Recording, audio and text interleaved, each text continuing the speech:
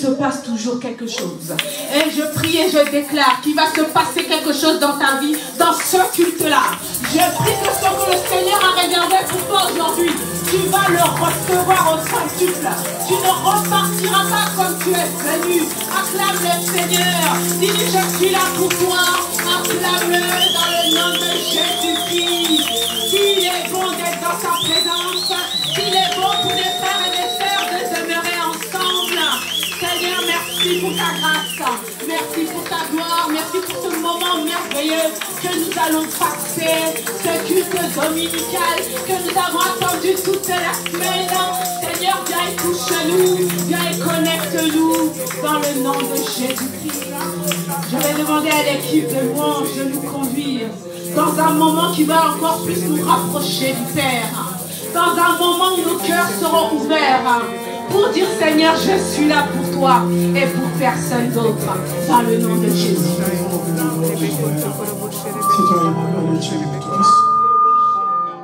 Tu es là, mon Jésus. Emmanuel, ici avec moi.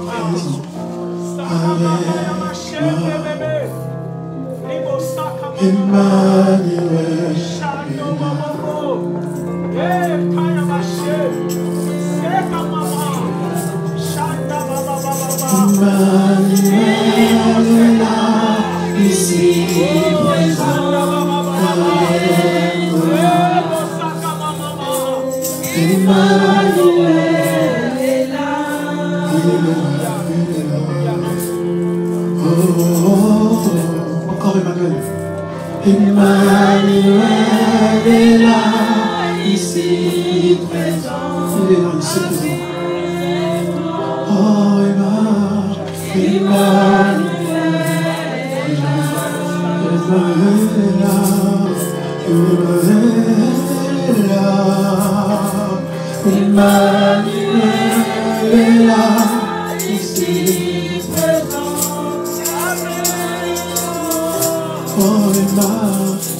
Emmanuel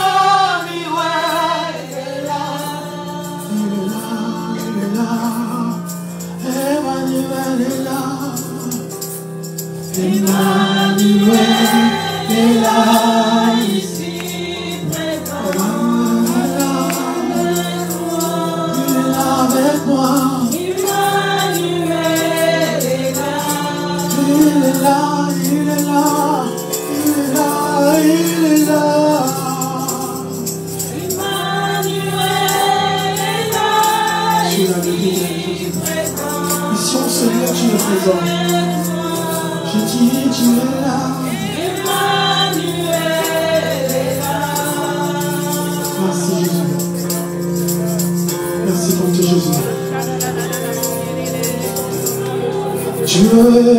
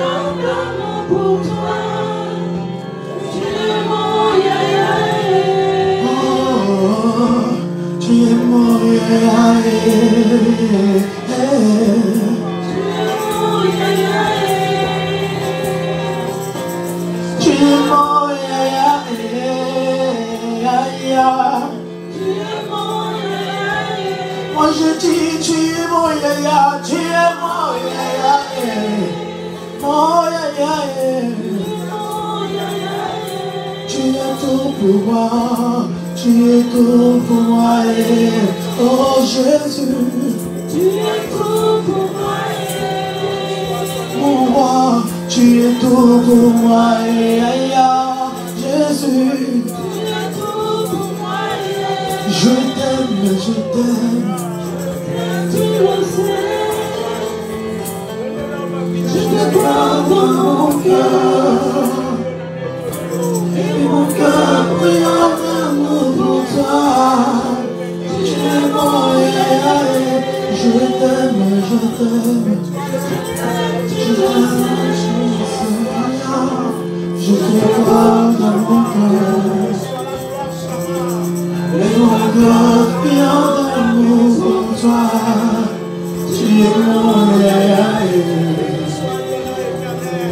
es mon bébé, tu es mon grand frère. C'est toi qui es tout pour nous, Jésus. Nous te célébrons, nous te bénissons parce que tu es véritable, Seigneur. Qui est comme toi l'accueil, mon bébé, Jésus. C'est toi le tout puissant, Jésus.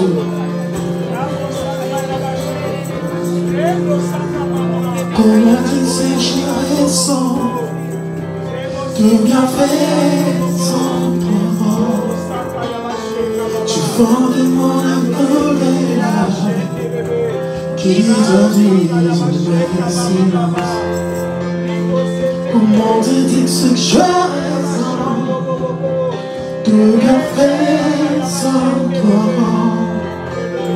Tu vends de moi la colère Qui traduit le silence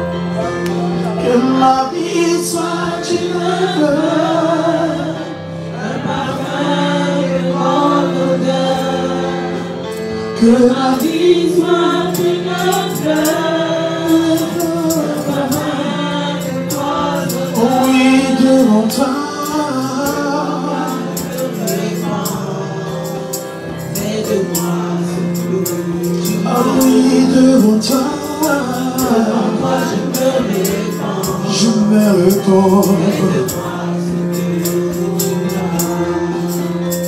Comme l'arche devant le portier. Seigneur, pour moi, femme qu'il te plaît. Je voudrais habiter chez toi tous les jours ici-bas. Seigneur, observez-moi, gardez-moi auprès. Moi, je voudrais habiter chez toi tous les jours ici-bas. Que ma vie soit une fleur. Un parfum de bon odeur. Que ma vie soit une vie, Un parfum de toi, oh Seigneur. oui,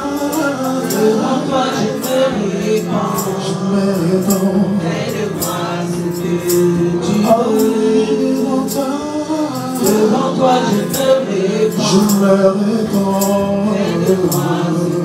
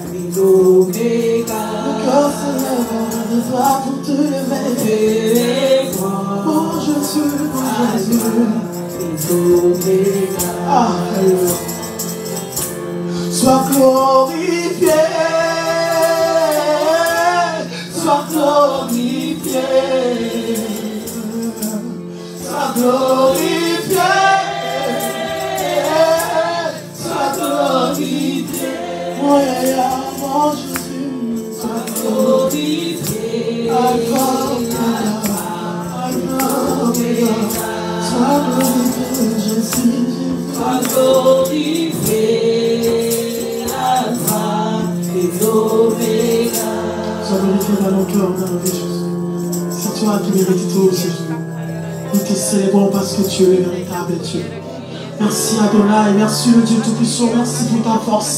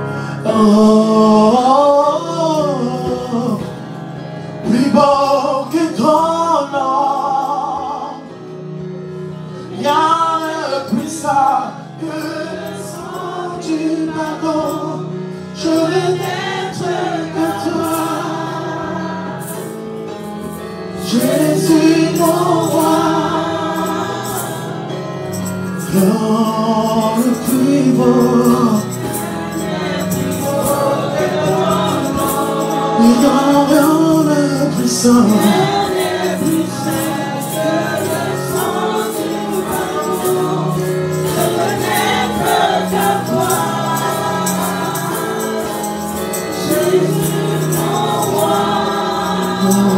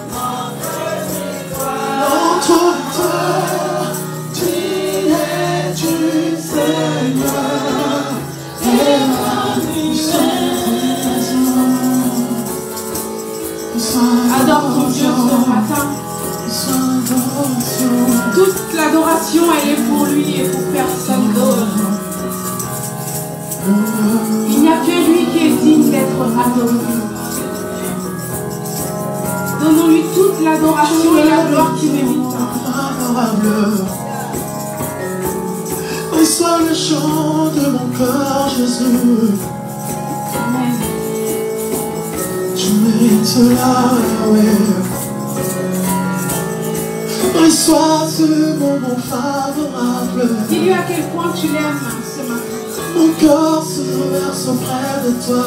Yahweh, mon Jésus. Il n'y a que lui qui peut te secourir. Il n'y a que lui qui prend garde à toi. Mon Jésus. C'est le seul qui se soucie de toi en vérité.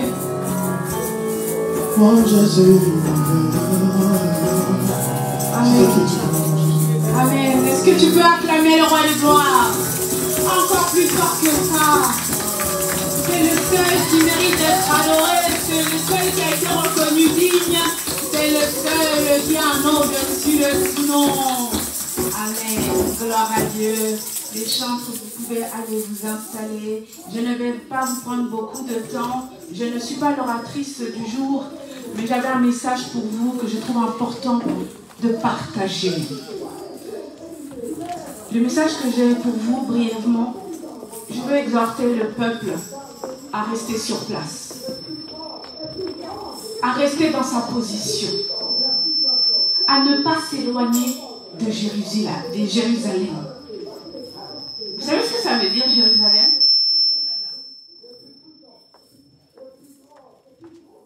C'est assez, je crois. Qui sait ce que ça veut dire Jérusalem? Jérusalem veut dire ville de paix. Que la paix apparaisse, ça veut dire. Amen. Et c'est bizarre parce qu'ils se font la guerre pour Jérusalem. Ils font la guerre pour tenir la ville de paix. Amen. Est-ce qu'on peut prendre la parole rapidement dans le livre des Actes? Juste après le dernier évangile. Acte 1, verset 4. Et le Seigneur me confirme que c'est la parole pour l'Église.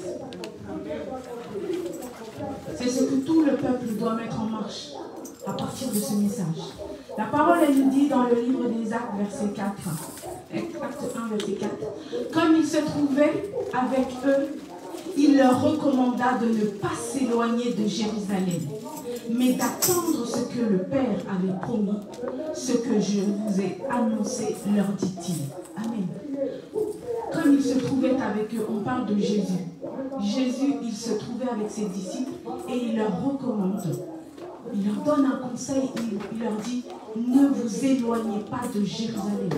Attendez ce que le Père avait promis et que ce que moi, je vous ai annoncé. Amen. Parce que lui, il a annoncé les choses que le Père a promis. Nous sommes l'Église universelle de Dieu, frères et sœurs, dans cette même position. Jésus est avec nous. Jésus se trouve avec nous en ce moment parce qu'il vit en chacun de nous. Et on a fêté la Pâque dernièrement et l'apôtre avait dit que la Pâque, c'est tous les jours. C'est tous les jours que la Pâque est éolée. C'est tous les jours que la puissance du sang, du, du Saint-Esprit est avec nous.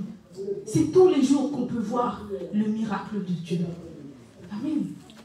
Donc, puisque nous avons reçu le Seigneur, puisqu'il est avec nous, il nous recommande de ne pas nous éloigner de Jérusalem. Et souvent, après une grande victoire, eh ben, il y a la persécution qui se manifeste. Après une grande victoire, il y a toujours des, des- des- des- circonstances qui viennent ébranler notre foi. Parce que le diable a vu que tu as été béni. Parce que le diable a vu que nous avons immolé la Pâque, que nous avons fêté la Pâque. Je vous ai dit, la Pâque, ça signifie la victoire. Donc souvent, après la victoire, il peut y avoir la persécution. Et dans la Bible, il y a quelqu'un, il lui arrivé exactement la même chose. Élie au mont Carmel, il a eu une puissante victoire. Une puissante victoire. Il y avait tout le peuple réuni. Il y avait tous les prophètes de Baal.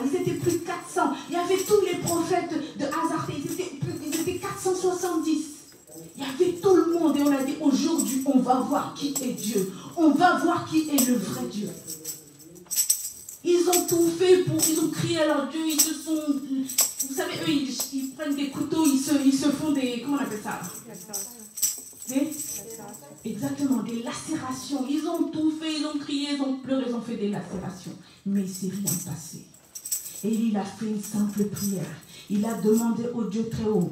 Il a demandé au Dieu qu'on était en train d'adorer tout à l'heure. Il a demandé au Dieu à qui on était en train de se connecter tout à l'heure. De montrer qui est Dieu. Et là, il a eu une grande victoire. Et tous les prophètes de Baal et d'Azarté ont été tués ce jour-là. Ont été tués ce jour-là. Il y en avait plus de 800. Grande victoire. Tout le monde a vu qu'en vérité, le seul vrai prophète qui était resté sur place au Mont Carmel, c'était Élie. Et tous les autres étaient des faux. Mais après cette grande victoire, Jézabel, elle a dit, si demain à la même heure, elle a regardé l'heure, elle a dit, si demain à la même heure, le prophète Élie est encore vivant, c'est que je suis pas Isabelle. Amen. Parce qu'après la grande victoire, souvent il y a des persécutions. Amen. Et nous, nous avons fêté la Pâque. Nous avons fêté la victoire du sang de Jésus. Nous avons fêté ce qu'il a fait pour nous. Souvent, il y a des persécutions. Amen. Et c'est pour ça que le Seigneur nous recommande, même après la victoire, même après que les circonstances aient switché, ne bouge pas, ne t'éloigne pas de Jérusalem. Amen. Quand Jésus est mort à la croix, ils se sont tous dispersés. Quand on dit ne t'éloigne pas de Jérusalem, on parle de la ville physique, c'est-à-dire ne t'éloigne pas, ne bouge pas. Il leur demandait de ne pas bouger de Jérusalem. C'est-à-dire, ce n'est pas le moment de dire je vais aller voir mon frère en Samarie. Ce n'est pas le moment de dire je vais aller en Galilée, je vais aller à Nazareth. Tout ça, ce n'est pas le moment. Il leur a dit je suis avec eux, je vous recommande, ne vous, éloignez, ne vous éloignez pas de Jérusalem. Attendez ce que le Père a promis. Attendez ce que je vous ai annoncé. Ça veut dire ne bougez pas physiquement. Mais c'est avec Jésus, quand il parle, il parle toujours en parabole, même quand il te dit des trucs physiques, c'est aussi en parabole, c'est aussi spirituel. Amen. Donc quand il leur disait ne vous éloignez pas de Jérusalem, ne changez pas de ville, ça voulait aussi leur dire ne t'éloigne pas de ton assemblée. Ne t'éloigne pas de tes frères et sœurs disciples. Ne t'éloigne pas de ton leader. Ne t'éloigne pas de ton pasteur. Ne t'éloigne pas de ton église. Ne t'éloigne pas de ta famille. Ne t'éloigne pas des prochains que j'ai mis autour de toi. Ça voulait dire ça également. Mais avec Jésus, comme ça veut dire toujours plus, plus, plus. Ça voulait ne t'éloigne pas de ma présence. Ne coupe pas cette connexion entre toi et moi. Ne t'éloigne pas de la lumière que je t'ai donnée.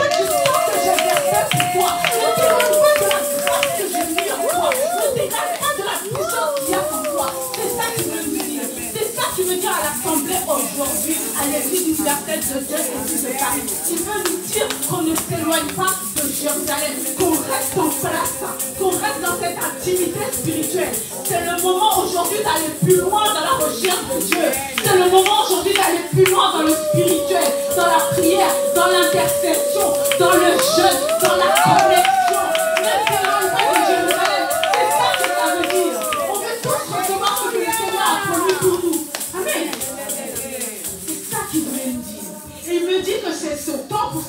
l'Église de ne pas s'éloigner, de ne pas bouger. Tout à l'heure, la prophétesse disait justement que Dieu n'a pas changé, qu'il est le même hier, aujourd'hui et qu'il n'a pas bougé de son trône. Il est toujours là, il est toujours à sa place. On nous dit que même quand il y a eu le déluge, le gars, il n'a pas bougé. Il est resté sur place. La terre était ébranlée, les fleuves, les, avait tout. Mais il n'a pas bougé. Qu'on ne bouge pas même si c'est difficile. Qu'on ne bouge pas même si ça fait longtemps qu'on attend. Qu'on ne bouge pas même si on vient d'avoir une belle élection parce qu'il a encore promis des choses plus grandes que ce que tu as déjà reçu. Ton futur est meilleur que ce qui s'est déjà passé dans ta vie. Ne bouge pas, reste à Jérusalem. Le Seigneur, ce qu'il a prévu pour toi, ce qu'il a promis écrit dans la Bible, on va arrêter de se contenter des miettes. On va arrêter de se contenter des petites choses. Et on va rester à Jérusalem plus de choses. Pour plus de choses. Amen. Tu vas prier. Tu vas prier. Parce que je ne veux pas que cette parole, tu l'entendes juste comme ça. Je veux qu'au travers de cette parole, tu comprennes le message, le comportement que Dieu attend de toi et que tu fasses des déclarations. Levez-vous, peuple de Dieu. Levez-vous, peuple de Dieu. Je ne veux pas vous prendre beaucoup de temps. Tu vas prier. pour ce que le Père a prévu pour toi.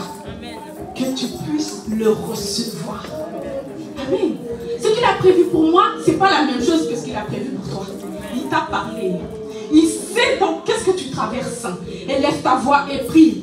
Élève ta voix et prie parce que quand Satan met un point, le Jésus-Christ met une virgule, ce n'est pas fini pour toi. Père, me voici avec mon frère et ma soeur. Tu m'as parlé. Tu m'as donné une parole que j'ai gardée dans mon cœur. Je vais comme Rebecca. Que cette parole, je ne l'oublie jamais. Seigneur, je prie pour recevoir ce que tu as prévu pour moi. Pas ce que moi j'ai prévu, pas ce que le diable ou mes ennemis ont prévu, même ma famille. Ce que tu as prévu pour moi, je le recevrai au nom tout-puissant de Jésus-Christ. Je sais que tu dis une chose et elle arrive. Je sais que tu leur donnes et elle existe. Je déclare qu'au nom de Jésus-Christ, l'enfant que tu m'as promis, tu me le donneras.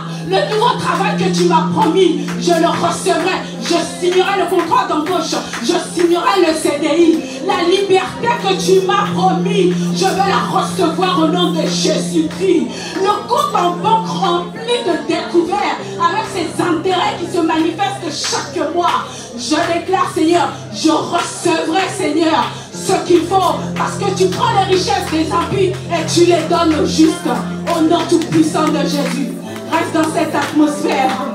Quand Jésus-Christ leur disait de ne pas s'éloigner, il disait que vous allez recevoir ce que je vous ai annoncé. Et ce qu'il nous a annoncé, c'est de recevoir la puissance venant d'en haut. Elle a dit, la prophétesse, personne ne, rencontre Jésus-Christ et reste le même. En dehors de Jésus-Christ, nous sommes tous ordinaires. En dehors de Jésus-Christ, il n'y en a pas un qui vaut mieux que l'autre mais c'est quand il agit en nous, c'est quand sa puissance tombe sur nous, que là tu peux devenir quelqu'un de surnaturel, quelqu'un d'extraordinaire, que tu peux faire la différence, que tu peux être élevé parmi le peuple. Oh, tu vas prier pour que tu reçoives la puissance qu'il nous a promis. Pour que tu ne sois plus, à partir d'aujourd'hui, cette personne ordinaire. Seigneur, je suis là avec mon frère et ma soeur. J'en ai marre d'être confondu avec les autres. J'en ai marre de faire partie de la population. Mon Dieu est extraordinaire. Mon Seigneur est extraordinaire. Moi aussi, je vais devenir extraordinaire. Tu m'as promis la puissance d'en haut. Tu m'as même ordonné, j'ordonne que tu sois puissant. Je, Seigneur, je prie pour recevoir cette puissance venant d'en haut. Je prie pour recevoir ce que tu m'as promis. Parce que sans toi, je ne peux rien faire. Sans toi, Seigneur, je serai ordinaire. Oh Seigneur, au nom tout-puissant de Jésus, je reçois le surnaturel divin que tu m'as promis. Au nom de Jésus. Reste toujours dans cette atmosphère. Je disais juste à l'instant que sans lui, nous ne pouvons rien faire. Ça veut dire que les vêtements de fête qu'on a prévu de recevoir en 2024, si tu comptes t'habiller de nouveaux vêtements, si tu comptes transformer les, le, vêtement de deuil en vêtement de joie. Si tu comptes transformer la, la pauvreté en richesse, tu ne pourras jamais le faire sans le Saint-Esprit. Tu ne pourras jamais le faire sans cette puissance. Tu vas prier parce que tu as dit, Seigneur, dans ta parole, que nous, nous allons recevoir aujourd'hui, cette année, des habits de fête. Oh Seigneur, reviens-nous, Seigneur, de ces habits de fête, Seigneur. Je sais que ça peut se faire que par ta puissance. Je veux, Seigneur, que tout ton peuple puisse passer à autre chose. Seigneur, je ne veux pas être la seule à me réjouir. C'est tout Jérusalem qui doit se réjouir. C'est tout ton peuple qui doit porter des habits de fête. Seigneur, équipe-nous. Que Seigneur, nous puissions célébrer les nouveaux vêtements. Que nous puissions vivre ce nouveau vêtement. Au nom tout puissant de Jésus. Au nom tout puissant de Jésus. Vous savez, Jésus dans le, dans le passage que je vous ai annoncé, acte 1, verset 4, pendant qu'il était avec eux, il leur dit, ne vous éloignez pas de Jérusalem. Vous savez qu'est-ce qui s'est passé? Est-ce qu'ils ont écouté? Si je vous donne des passages comme ça, même pour vous dire que dans Jean 21, 12, on nous dit, Jésus s'est montré à ses disciples au bord de la mer à Tibériade. Ça veut dire que quand il dit aux gens de rester à Jérusalem, des gens se retrouvent à Tibériade. On nous dit que Jésus il a après sa, mort, il a parlé à Nathanaël à Cana. Ça veut dire le gars, on te dit d'être Jérusalem, tu te retrouves à Cana. On nous dit dans Jean 21, 3 que Simon Pierre, il a dit à ses, à ses frères, je vais aller pêcher. Simon Pierre, il leur dit, je vais aller pêcher après la mort de Jésus. Il lui dit, on vient avec toi. Ils sortirent et montèrent dans une barque. Cette nuit-là, il ne prit rien. Donc non seulement le gars, il a quitté la ville, mais il est même retourné à son ancien boulot, à son ancienne activité. Il n'avait pas dit à Pierre, tu ne seras plus pêcheur d'hommes. Il lui avait dit. Pourtant, à la mort de Jésus-Christ, le gars, il retourne pêcher. Et les autres, en le voyant pêcher, ils disent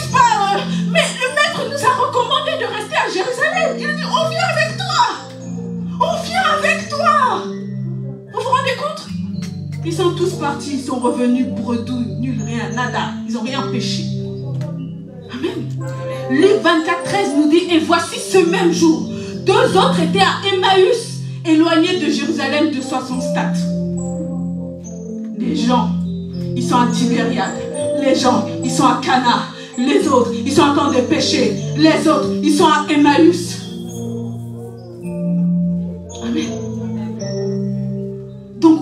Même d'écouter la recommandation, ils font tout le contraire. C'était la dispersion. Alors que rester à Jérusalem, je vous ai dit tout à l'heure, c'est ne pas bouger de la ville. C'est de rester ensemble entre disciples et également de rester dans la présence de Dieu. Ils n'ont rien fait de tout ça. Amen.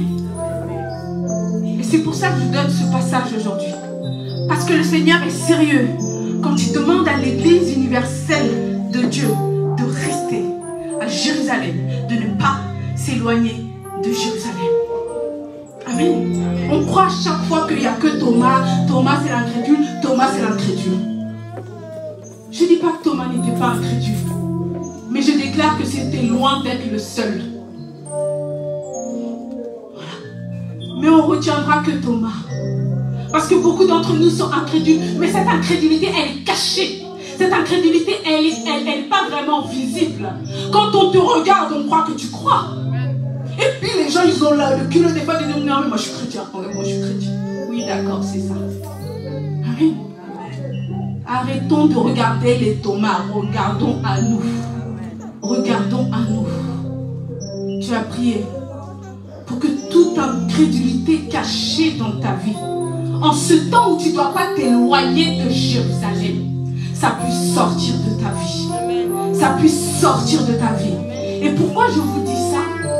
Parce que dans le livre d'Ecclésiaste 10.4, on nous dit, si l'esprit de celui qui domine s'élève contre toi, ne quitte point ta place, car le calme prévient de grands péchés. Ça veut dire quand celui qui domine, quand la persécution te frappe, ne quitte point ta place. Reste calme. Parce que c'est ça qui va te prévenir de grands péchés. Amen. Prie pour ôter toute incrédulité cachée. On voit les gens, mais on ne connaît pas les gens. Hein. Amen. Tout le monde connaît que Thomas. Il n'est pas le seul. Il y a une grande bande de Thomas parmi nous. On est une grande bande de Thomas cachés. Mais je ne serai plus Thomas au nom de Jésus. Au nom de Jésus, élève ta voix. Seigneur, pardonne-moi. Parce que souvent je fais comme ils ont fait à Emmaüs, à Cana, au, lac de Tibériade, Seigneur. Je crois en toi, mais dès qu'il y a des circonstances qui sont contre moi, je quitte je vais, je m'éloigne de Jérusalem.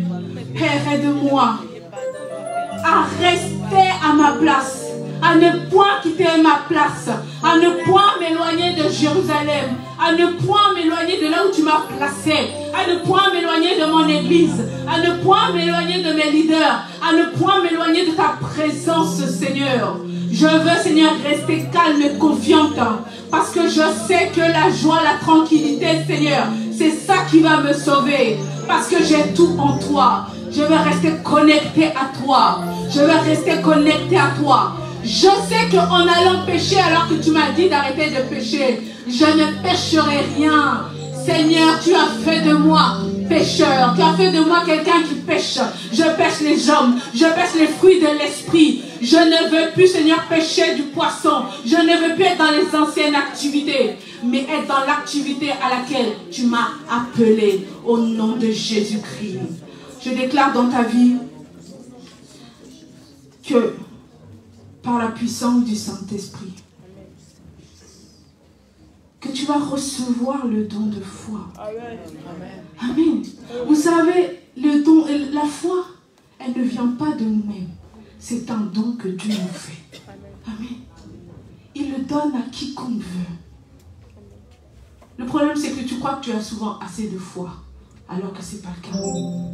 Père, je prie pour que mon frère et ma soeur ici présentes reçoivent ce don de foi. Le don de foi que tu as donné à Abraham. Le don de la foi qui me permet de rester à ma place et de ne pas m'éloigner de Jérusalem. Père, au fond de moi, je sais que ma vie sans toi, ma vie quand je m'éloigne de Jérusalem, elle sera pire que ma vie avant même que je te rencontre.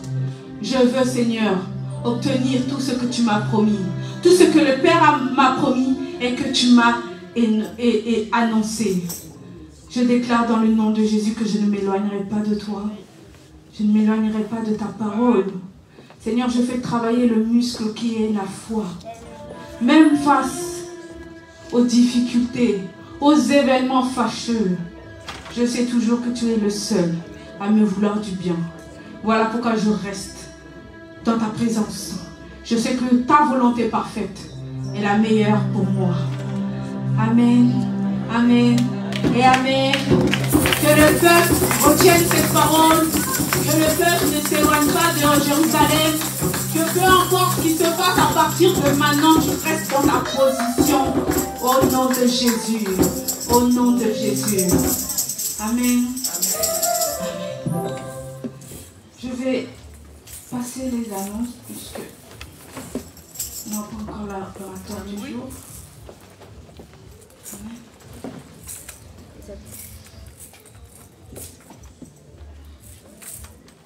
Alors, comme qui était là vendredi? Amen.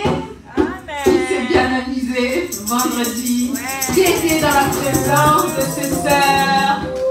Dans la joie, la bonne humeur, la bienveillance autour de celui qui nous unit, Jésus-Christ de Nazareth. Je voulais vraiment vous bénir, mesdames, pour le temps merveilleux que nous avons eu vendredi. C'était la première soirée des femmes, mais ça s'est très très bien passé. On a beaucoup rigolé, c'était une ambiance hyper conviviale. Et j'espère qu'on aura d'autres occasions comme ça de le passer ensemble et, de nous faire du bien les unes pour les autres. Mais l'objectif c'était juste qu'on passe un temps ensemble dans la joie et qu'on apprenne mieux à se connaître. Et je crois que l'objectif a été atteint. Amen. Pour la prochaine soirée, je vous demande d'inviter encore des amis, d'inviter encore plus de monde. Parce que c'est aussi comme ça qu'on parle de notre Seigneur. C'est aussi comme ça qu'on se recentre au centre de celui qui nous donne tout ce dont on a besoin et qui nous fait du bien. Amen. Donc je compte sur vous, mesdames, pour la prochaine. Je n'ai pas de date, donc je ne peux pas vous voilà, mais je sais qu'on en aura d'autres parce que ça a fait du bien à tout le monde. Amen. Donc, euh, ce que je veux vous dire, c'est que tous les dimanches, je vous invite vraiment au culte, à passer un temps dans, dans, la présence entre frères et sœurs, parce que c'est là que le Seigneur envoie sa bénédiction en abondance quand les frères demeurent ensemble. Amen. C'est de 14h à 16h. Je vous invite vraiment à venir à l'heure, à 14h, on démarre. Amen. Donc c'est tous les dimanches notre culte de célébration de 14h à 16h. Le jeudi, vous avez dans, dans, dans, dans ce lieu l'intercession, la meilleure des intercessions qui soit en physique ici à partir de 17h30 jusqu'à 19h. Et le mardi, nous avons notre enseignement, notre étude biblique. Hein, on a vu là pendant les, pendant les quiz, hein, hein, on a vu qui, qui connaissait la parole, qui connaissait moi. Hein? Vous voyez? Ah. Quand les autres répondent, tu dis, comment il fait? Comment il fait? Ah, il participe à l'étude biblique. C'est ça la vérité. Amen? Amen. Donc euh, l'étude biblique, c'est sur YouTube et sur Facebook tous les mardis. C'est animé par l'apôtre Victor le mercredi. Le mercredi à partir de 19h jusqu'à 20h30. Amen? Amen. Et de temps en temps, nous avons notre, notre, notre heure des guerriers où on intercède, on intercède de manière intensive. Amen. N'oubliez pas, l'avant-dernier vendredi de chaque mois, nous avons notre veillée de prière. La veillée de prière, ce sera pas ce vendredi, mais le, celui qui arrive après. Amen. Donc je compte sur vous. J'ai parlé des deux prostituées. Et je vous ai dit à quel point il était important de veiller et de prier. il se passe trop de choses la nuit pour dormir. Tu le fais déjà tout le mois. Donc si tu as un jour, on te demande de ne pas dormir pour ne pas qu'on échange, qu'on fasse des transactions avec ta vie la nuit, je t'invite vraiment à te mobiliser. Amen. Amen. Voilà, si vous voulez rejoindre un département, vous pouvez venir me voir, on va, on va discuter. Voilà, si c'est pour rejoindre le média, le protocole, voilà, c'est ouvert. Amen. Je vais. Ah, je vois qu'ils arrivent. On va quand même faire un petit moment de louange. Hein. On va un peu danser pour notre Seigneur. Et après, nous présenterons nos du jour dans le nom de Jésus. Amen.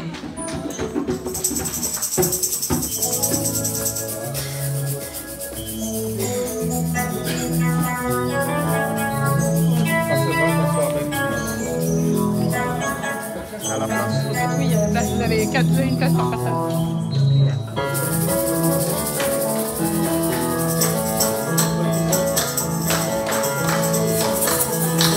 Alléluia. La vie ne change pas, la vie ne change pas. Il est le même, Alléluia. La vie ne change pas, la vie ne change pas.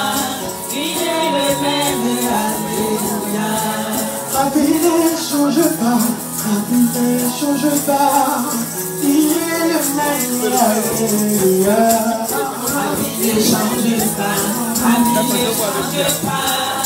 Il est le même. Oh mon Jésus n'a pas changé, vie ne change pas. Il est le même, Alléluia.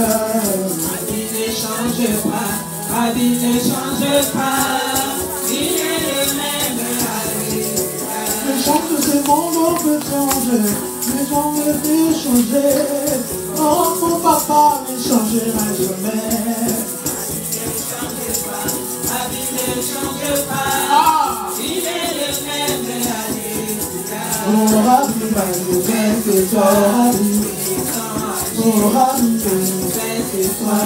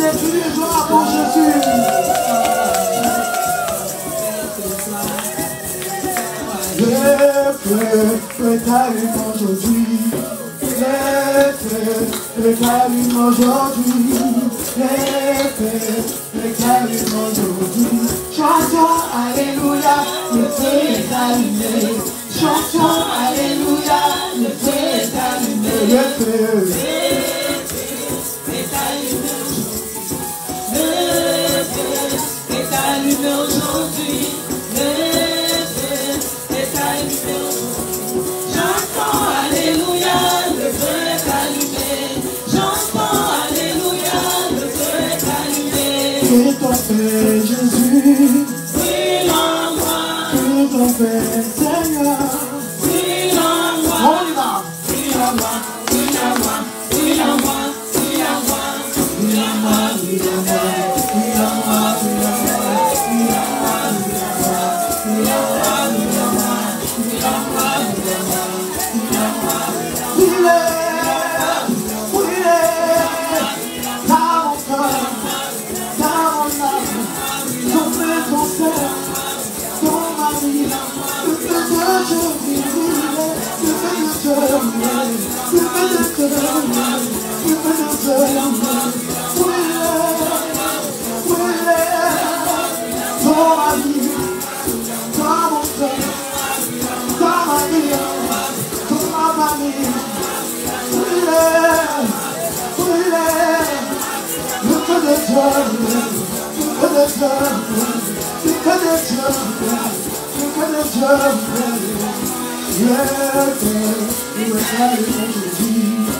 feu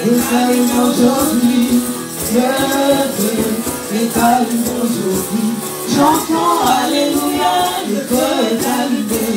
Chantons Alléluia, le feu est allumé, le feu. Le feu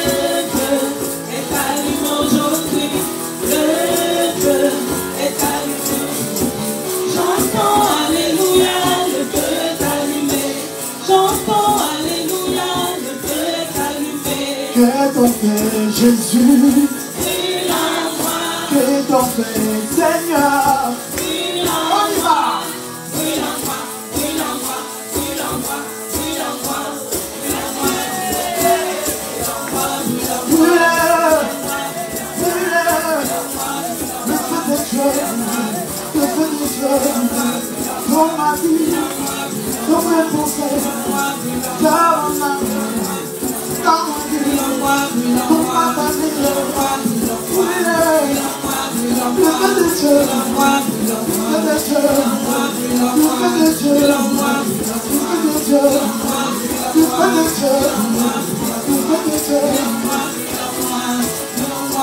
Je chanterai de tout cœur une merveille de mon papa. Il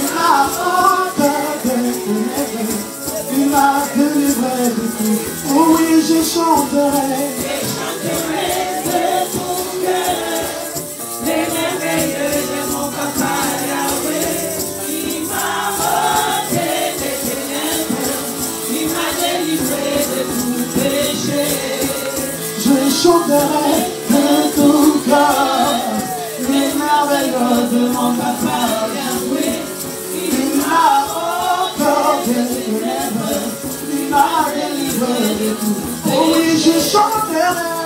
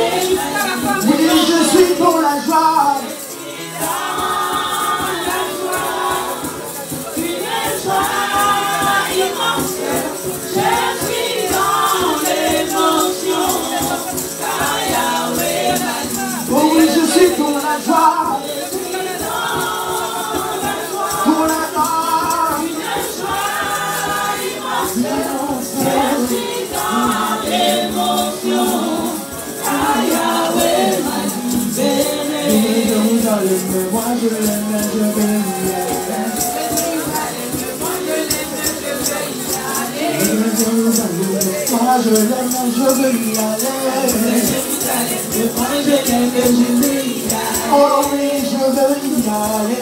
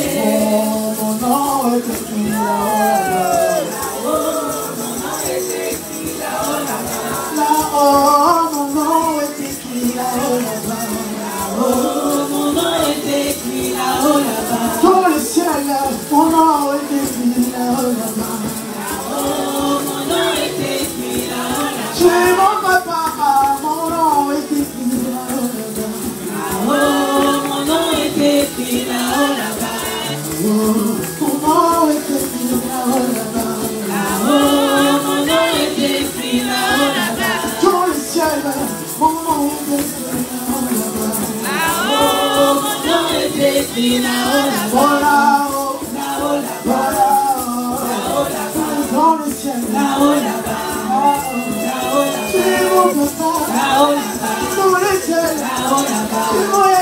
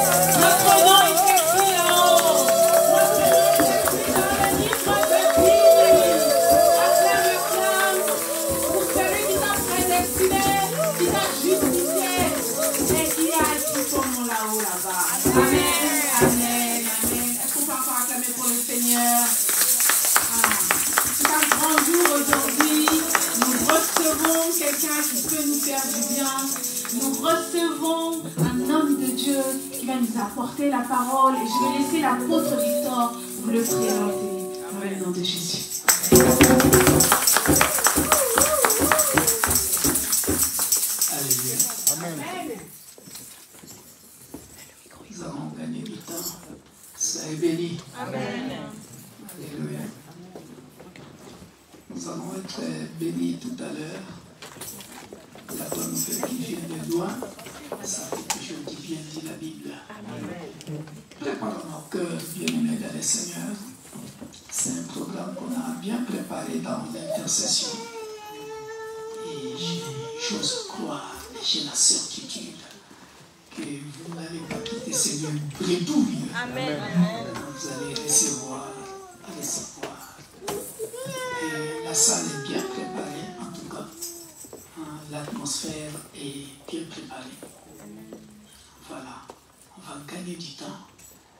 Et ceux qui ont, ceux qui ont des enfants, faites de votre mieux pour euh, ne pas faire manger les enfants pendant que les prophètes vont commencer à exercer, pour que nous soyons vraiment bien concentrés. On va manger la bonne nourriture et il y aura un bonus. Je ne sais pas si ça sera ici ou à Lille, mais en tout cas, euh, Dieu m'avait montré ça. J'en ai parlé à quelques-uns qui sont proches de moi. Après, on laisse, on laisse au Saint-Esprit faire son travail. Amen. Donc, sans plus tarder, nous avons le privilège d'accueillir l'homme de Dieu, le prophète Wonder, qui, qui nous vient de Boaké en Côte d'Ivoire.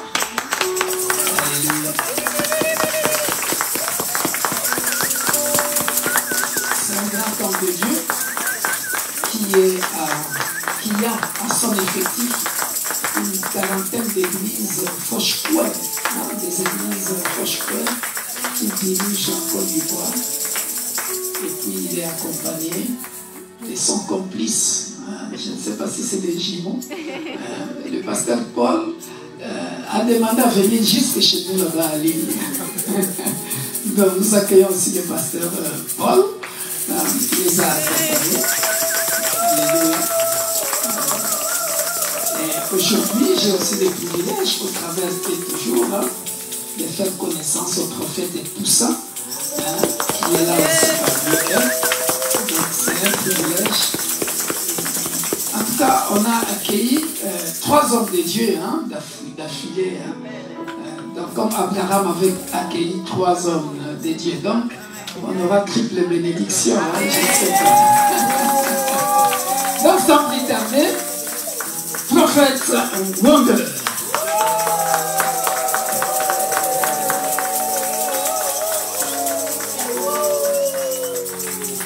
Alléluia. Au son de ma voix, je veux que tu lèves la main droite. Et dis avec moi, Seigneur Jésus, accorde-moi ta grâce. Crée une nouvelle atmosphère autour de moi et laisse ta faveur arriver au nom de Jésus. Prions ensemble, Seigneur. Prie pour toi-même, prie pour toi. Demande une nouvelle grâce, demande une capacité nouvelle, demande une nouvelle présence de Dieu autour de toi. Demande quelque chose de nouveau au Seigneur. Demande une action nouvelle de Dieu. Demande une présence nouvelle. Demande de nouvelles choses. Demande une nouvelle atmosphère. Au nom suprême de Jésus. Au nom suprême de Jésus.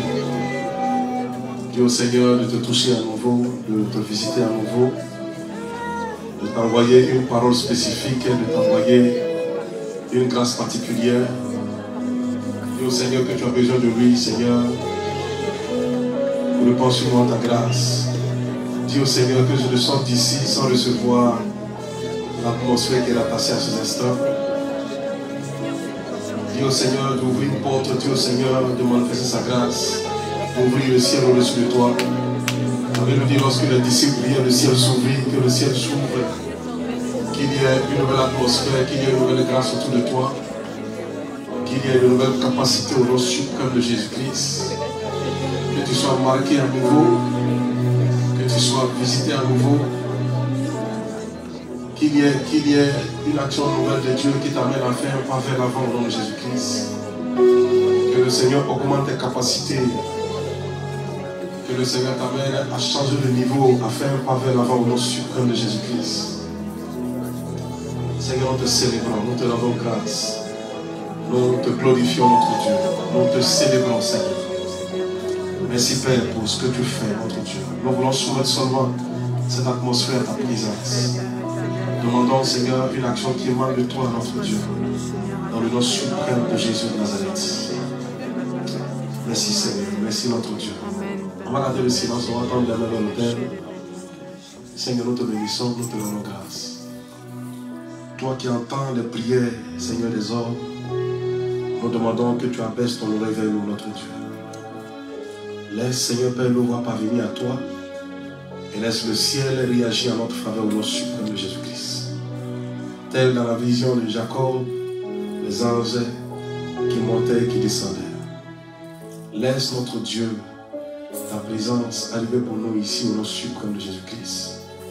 Permets-nous, Seigneur Père, de communiquer une parole spécifique qui va créer, Seigneur Père, un retournement positif dans la vie de chacun au nom suprême de Jésus-Christ. Merci pour l'onction, merci pour la grâce de Dieu. Au nom de Jésus. Amen. Amen. Qui a dit Amen bien, Amen bien ce soir? Alléluia.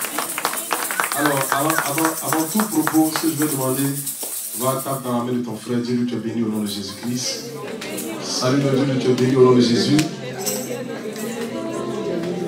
Transmets la bénédiction en saluant ton frère. Dieu tu es béni au nom de Jésus.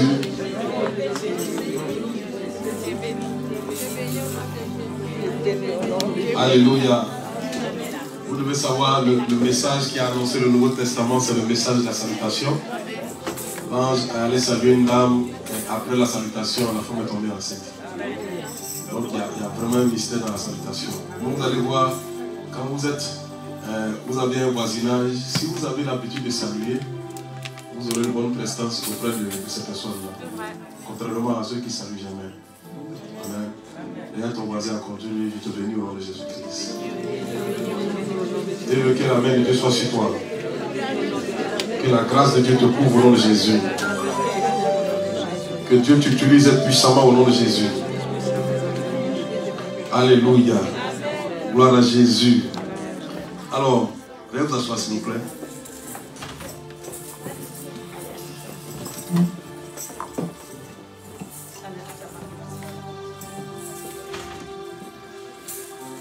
Ah, il y a une bonne atmosphère. Je veux bénir le Seigneur pour, pour la grâce qu'il nous fait d'être là ce soir. Euh, il y a quelques mois en arrière, nous sommes passés ici, mais en, flash. On a juste apporté en quelques minutes une petite, bon, la moitié d'une exhortation en tout cas. Et c'était la première fois que euh, je, rencontrais l'homme que je veux, pour lequel je veux considérer Dieu. Je rencontrais l'apôtre. Et juste après notre exhortation, on s'est retrouvé quelque part, on a échangé. Et j'ai trouvé un homme qui a un cœur simple et qui a une telle une humilité. Et je vous assure, j'ai été vraiment frappé par sa simplicité.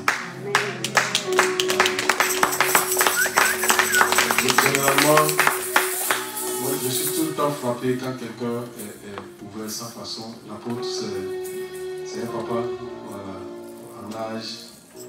Et le voir se mettre à, mon niveau et puis échanger avec moi librement, euh, ça m'a vraiment frappé.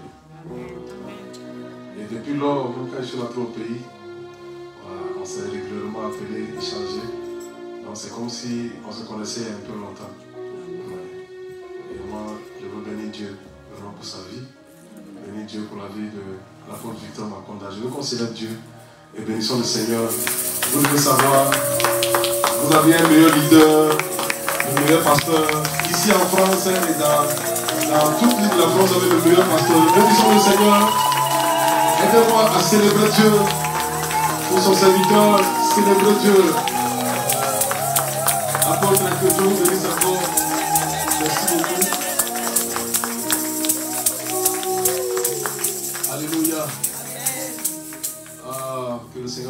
Apôtre? Vous savez, cette, cette connexion entre nous a été établie par une famille.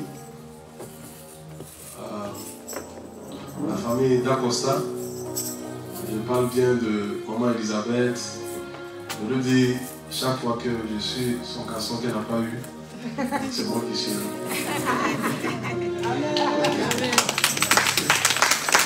Alors, maman, euh, je t'aime de l'amour de Dieu. C'est ça que tu es ici. Hein? Encore. Donc, je salue Thérèse, Rose et Sheila. Que Dieu vous bénisse. Merci. Vous êtes comme des André. Voilà. André, c'est le premier disciple que Jésus a connu. C'est lui qui a établi la relation pour que Jésus connaisse Pierre et Jean. Et c'est parti comme ça. Merci encore. Merci. Que Dieu vous bénisse. Et je sais que l'Église ne va pas regretter.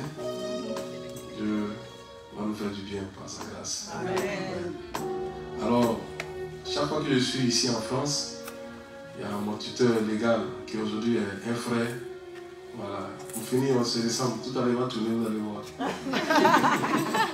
c'est pour ça, c'est à juste titre que l'apôtre a dit tout à l'heure, c'est son jumeau, son complice. Alors, il est le pasteur de l'église source vivante à Tossi. Voilà, donc après le culte aujourd'hui où j'ai intervenu, il a bien voulu euh, accepter de m'accompagner. Donc, euh, c'est le pasteur Paul, voilà, qui est juste là. Merci de vous, c'est le Seigneur. Merci beaucoup. Tu ne pas bien trouvé, hein? Alors, à côté, euh, c'est un ami aussi, un frère, qui est à la fois au, au niveau de l'église, mais qui a un ministère particulier. D'accord? Voilà, donc je nomme ici le prophète Toussaint, qui a bien accepté aussi de nous accompagner. Merci beaucoup, de Dieu. Merci. Alors, je veux, je veux, je veux juste euh, donner une introduction, euh, tout en espérant qu'on aura l'occasion peut-être de mieux développer ce que je vais vous dire ce soir. D'accord? Il y, y, a un fardeau que, que, Dieu nous a donné, un fardeau que Dieu nous a donné, et moi je veux, je veux partager avec vous ça ce soir. J'espère que ça va, ça va bénir la vie de quelqu'un. Nous croyons que nous sommes dans une saison où Dieu a bien envie de susciter des serviteurs, des hommes et des femmes sur lesquels il va poser la portion de sa grâce et qui vont être des instruments importants entre ses mains. Vous savez, Dieu, il est suffisant. Et dans toute sa suffisance, il dit qu'il cherche un homme. C'est lui qui dit, qui, qui, qui, qui parle au travers d'Esaïe, Esaïe 6, verset 8, il dit, qui enverrai-je? D'accord Dieu, malgré toute sa suffisance, il a toujours besoin de quelqu'un. Et je pense que c'est un privilège de savoir que ce Dieu suffisant sur quelqu'un encore, a bien envie de s'associer à quelqu'un, encore de voir quelqu'un s'associer à lui pour être ouvrier pour lui dans son œuvre. C'est vraiment un privilège. Alors, avis à tous ceux-là qui ont eu une fois la promesse de Dieu, d'être un canal de Dieu, d'être quelqu'un que Dieu peut utiliser. Je vous apprends, mesdames et messieurs, que vous devez savoir que c'est un privilège. D'être un instrument que Dieu veut saisir, que Dieu veut utiliser.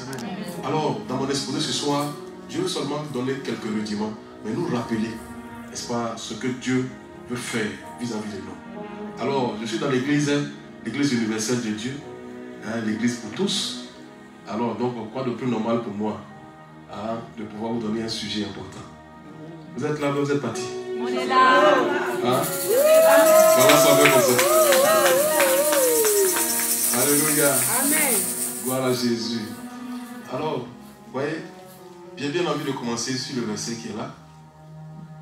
Et puis, euh, ok, je pense qu'on va commencer sur ça, d'accord? Allons-y. Là, on peut les citer parce que c'est le verset qui accompagne l'église, Amen. d'accord? Là, on peut les citer. donc. Je sais que vous avez appris, non? Oui. Hein? Comment c'est la, la phrase en ce moment que vous avez Non, ça continue. Ça continue. Hein? Ça continue après. Oui, je sais. On peut, on peut continuer sans, sans ouvrir la Bible? Oui, mais euh, Allons-y, Matthieu 28, verset 19. Qu'est-ce qu'il dit? Allez, faites de toutes les nations des disciples, Ah, en les baptisant au nom du Père, du Fils et du du Saint-Esprit. Ah. Qui ça Et Unir leur que je vous ai appris. Et voici, je suis avec vous tous les jours. Amen. Je vais vous dire quelque chose avant de continuer. Chaque fois que vous venez à l'église, sentez-vous relax. Sentez-vous sans stress. Il y a des gens, quand ils viennent à l'église, on sent qu'il y a toute une pression qui les accompagne. Le gars, pour sourire même, c'est tout un problème. Il y a des gens qui ne sourient jamais à l'église. Il faut, faut se sentir dégagé. D'accord? La Bible dit la joie du Seigneur est ma force. Et ça, ce sont des expressions qui attirent le regard de Dieu. Ce n'est pas le visage défait qui attire Dieu. Mais souvent, le bon point, la vie qu'on démontre. Souvenez-vous de cette dame, lorsque, lorsque elle, elle, par prophétie, elle reçoit son enfantement. Et alors, des années après, l'enfant est malade, il est gravement malade. Et là, il est dans l'agonie. Et quand elle passe vers son mari, parce que la voix qu'elle empruntait, il n'est pas loin de son, du sang de son mari. Et donc, son mari pouvait la voir. Et quand il voit la femme en train de partir, il lui demande est-ce que, comment ça va? Elle lui dit tout va bien. Tout en sachant que l'enfant est en train de mourir. D'accord? Donc il y a des expressions qui encouragent Dieu à se manifester. Il y a des expressions qui attirent Dieu. D'accord? Alors, notre sujet, je veux parler de ça. Aller faire de toutes les nations des disciples. D'accord? Et ça, c'est, la dernière commission que Jésus donne. C'est pour cela que dans le langage théologique, on appelle ce verset-là la grande commission. Allez et faites de toutes les nations des disciples, les baptisant au nom du Père, du Fils et du et enseignez-leur à obéir à tout ce qui est prescrit. D'accord? Alors, Jésus donne cette recommandation. Je vais un peu diminuer juste un peu. Jésus donne cette recommandation et il dit aux disciples qui étaient là, il dit allez et faites de toutes les nations des disciples. D'accord? Allez et faites de toutes les nations des disciples. Alors, quand on commence, on va voir aller, c'est juste, c'est juste un impératif. Donc, ce n'est pas une option, c'est une obligation. C'est une obligation. Donc, le souhait de Dieu, c'est qu'on comprenne que c'est une obligation. Et il dit allez et faites de toutes les nations des disciples. Le mot nation ici, en grec, c'est ethnos. C'est dit ethnos qui est venu ethnie. D'accord? Alors, quand on parle d'ethnie, l'ethnie, c'est un langage dont on se sert pour communiquer. Alors, donc, ce que Dieu est en train de dire ici par Jésus, quand il dit allez faire de toutes les nations des disciples, allez et faites des ethnos. Pardon, les disciples, toutes les ethnos doivent être disciples de Christ. Ça veut dire quoi? Tous ceux qui se servent d'un langage pour communiquer doivent être des disciples. Donc, les nations dont les questions ici, la première compréhension, c'est en termes de ethnos, d'ethnie, de langue. D'accord? Maintenant, la compréhension approfondie, c'est quoi? Les ethnos, tout le monde ici, à cause de ce qu'on est affilié à un groupe de travail, nous sommes des ethnos.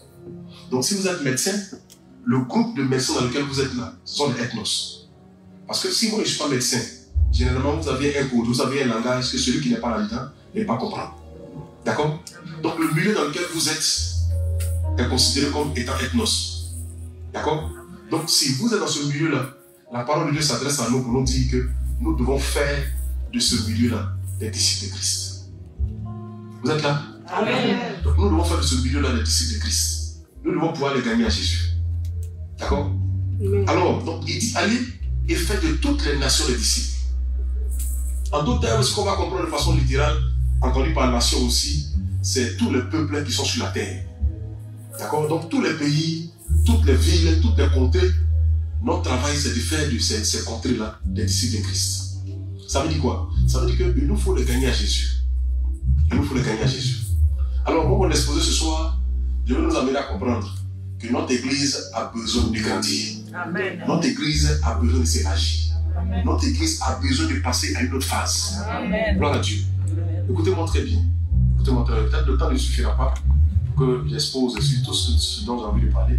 Et à la fin, la grâce va se répandre. Parce que Dieu va équiper chacun.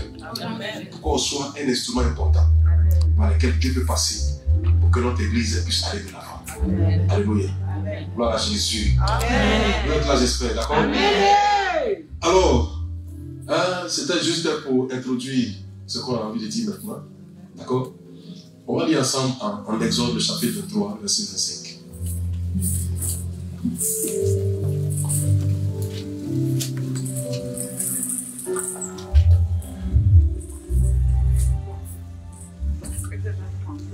Exode, le chapitre 23, le verset 25. On va honorer la parole de Dieu, tout ça passe devant de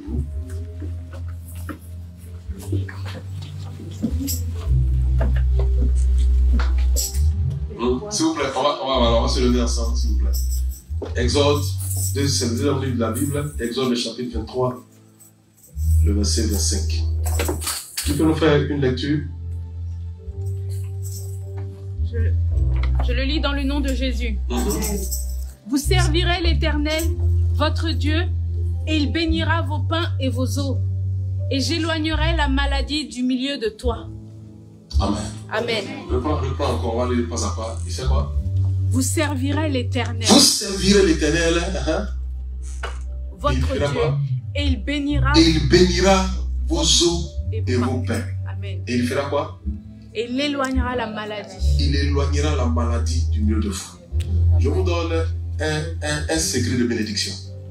D'accord? Viens vous asseoir.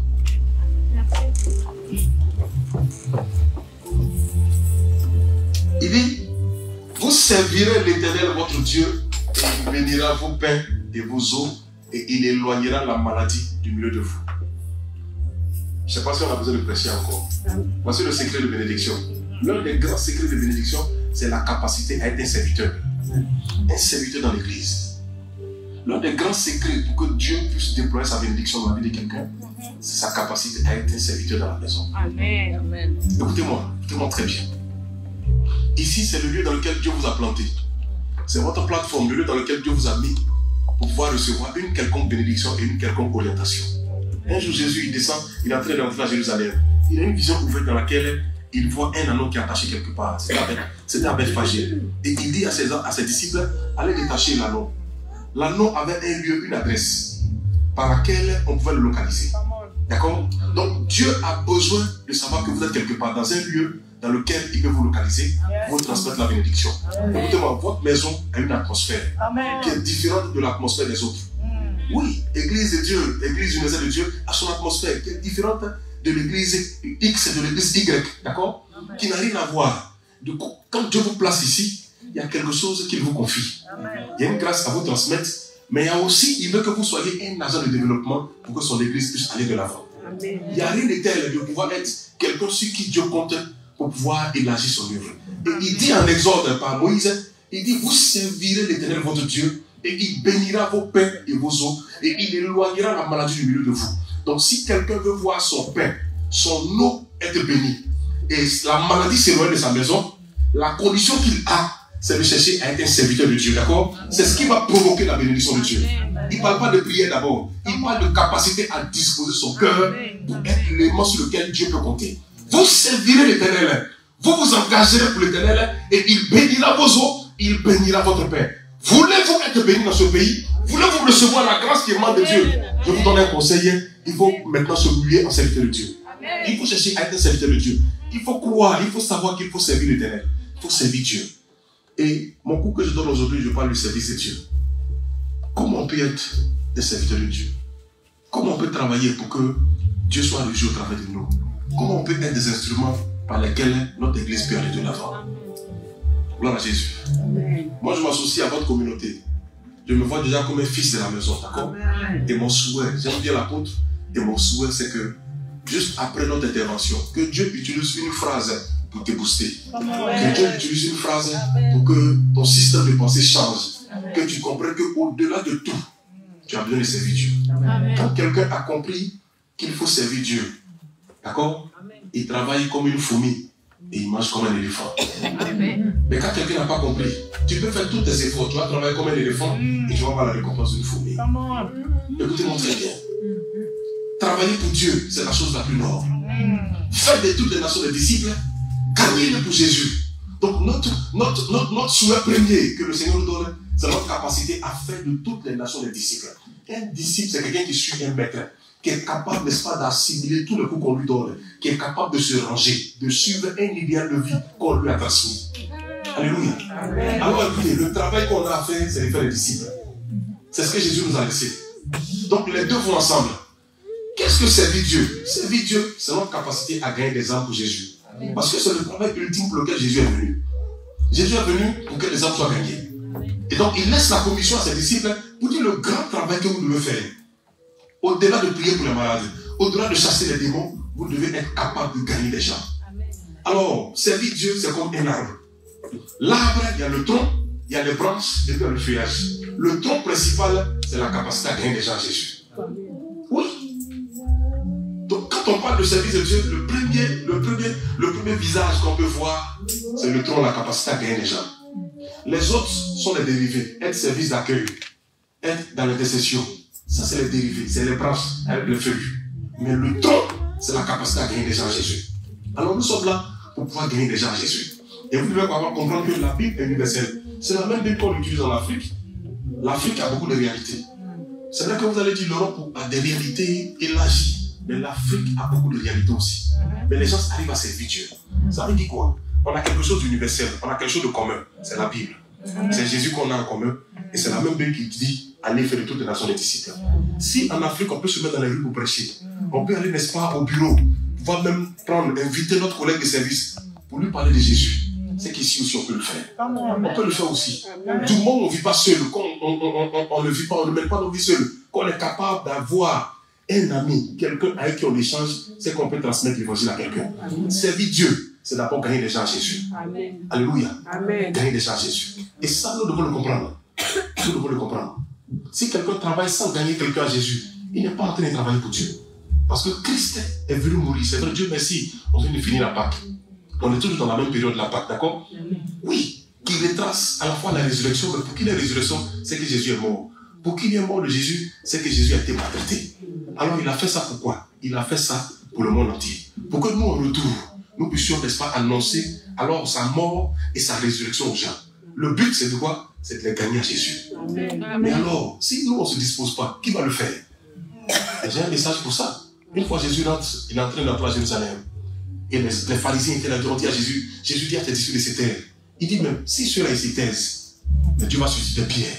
Ça veut dire quoi? S'ils n'ont pas fait preuve de fermeté, à cause de vos menaces, se taisent, Dieu va susciter des pierres. Des pierres sont des hommes qui seront fermes. Plus fermes que ceux qui sont là. Parce que la pierre, c'est une matière qui est ferme. D'accord Dieu va susciter des cœurs, des hommes fermes qui savent avancer. Malgré tout, malgré des pensées malades, qui comprennent que pour Jésus, je suis prêt à me sacrifier. Je suis prêt à me donner à fond. Je suis prêt à travailler. Mais à partir de mon église pour Jésus, je suis prêt à me donner à fond. Et je prie ce soir que Dieu suscite des missionnaires, des hommes, des frères qui comprennent qu'il faut travailler pour Dieu. Il faut travailler pour Dieu. Il y a quelque chose. La promotion que tu cherches au travail, est-ce que tu sais qu'elle est rattachée à ton service dans l'église? Amen. Amen. Oui. L'expansion que tu veux dans la vie de tous les jours, elle est rattachée à ton travail à l'église. Ce que tu es en train de rechercher dehors est rattaché à ton expansion. Si Dieu voit son intérêt en toi, il sera prêt à lever le doigt pour toi. Si Dieu voit que ton cœur bat pour lui, ton cœur bat pour ton église, ton cœur bat pour l'expansion de ta communauté, Dieu sera prêt à lever le doigt pour toi. Mais quand il regarde, il voit qu'il n'y a aucun intérêt, que l'église avance, que l'église diminue, ça te dit viens. Il sent que c'est pas un homme qui va plus faire long feu. Oui. Que tu sois une femme que Dieu peut saisir. Que tu sois un homme que Dieu peut prendre.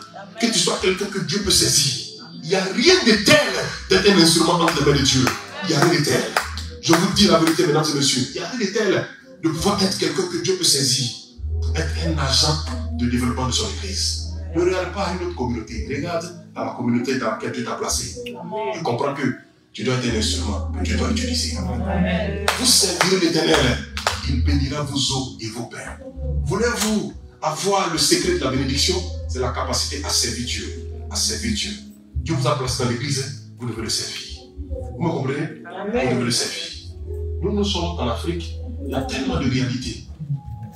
Mais écoutez, malgré toutes ces réalités, on engage des frères, on engage des soeurs, on engage des jeunes gens à se donner à fond pour servir Dieu. À se donner à fond. Travailler pour que les églises puissent s'élargir. Travailler pour que Dieu puisse gagner des hommes. N'est-il pas écrit Il y a de la joie dans le ciel pour une âme qui se convertit à Jésus, qui se donne à Jésus. Mais pensez un peu l'instrument par lequel Dieu passe. Si vous êtes un homme qui crée la joie au ciel, Dieu aussi va créer la joie dans votre environnement. Il va créer la joie autour de vous. Je dis, il va créer la joie autour de vous. Alors je préfère être l'instrument que Dieu utilise pour créer la joie. Pour créer la joie. Écoutez, servir Dieu, c'est gagner des âmes. Le tronc principal du service, c'est la capacité à gagner des âmes. J'ai envie de voir des hommes, n'est-ce pas, des frères et des sœurs, s'organiser après, se mettre ensemble, sortir, se mettre quelque part dans la rue, sortir, essayer de voir des collègues de service, organiser, n'est-ce pas, des petits agapés dans le but de gagner des gens à Jésus. Payer des, baffles qu'on recharge, aller dans les rues, parler de Jésus aux gens, distribuer les prospectus, des gens qui vont disposer de l'argent, payer les prospectus, organiser des séances dans le but de gagner des gens à Jésus. Organiser pour que vos collègues de service soient gagnés à Jésus. Ils ont le cœur. Écoutez, mais Dieu a le cœur entre sa main. Donc écoutez, Dieu ne passait par nous pour pouvoir les toucher. Mais si on est assis, comment les hommes seront gagnés à Jésus? Si l'église est assise, comment on pourra gagner à Jésus? Si cœurs ne font aucun mouvement, comment l'église pourra progresser? Comment l'église pourra, pourra grandir? Maintenant, écoutez, je vous file la révélation. Pour que vous compreniez que le souhait de Dieu, c'est que votre église grandisse. Allons à Luc le chapitre 14, j'appelle ce témoin. Luc le chapitre 14. Le verset, on va lire à partir du verset 23.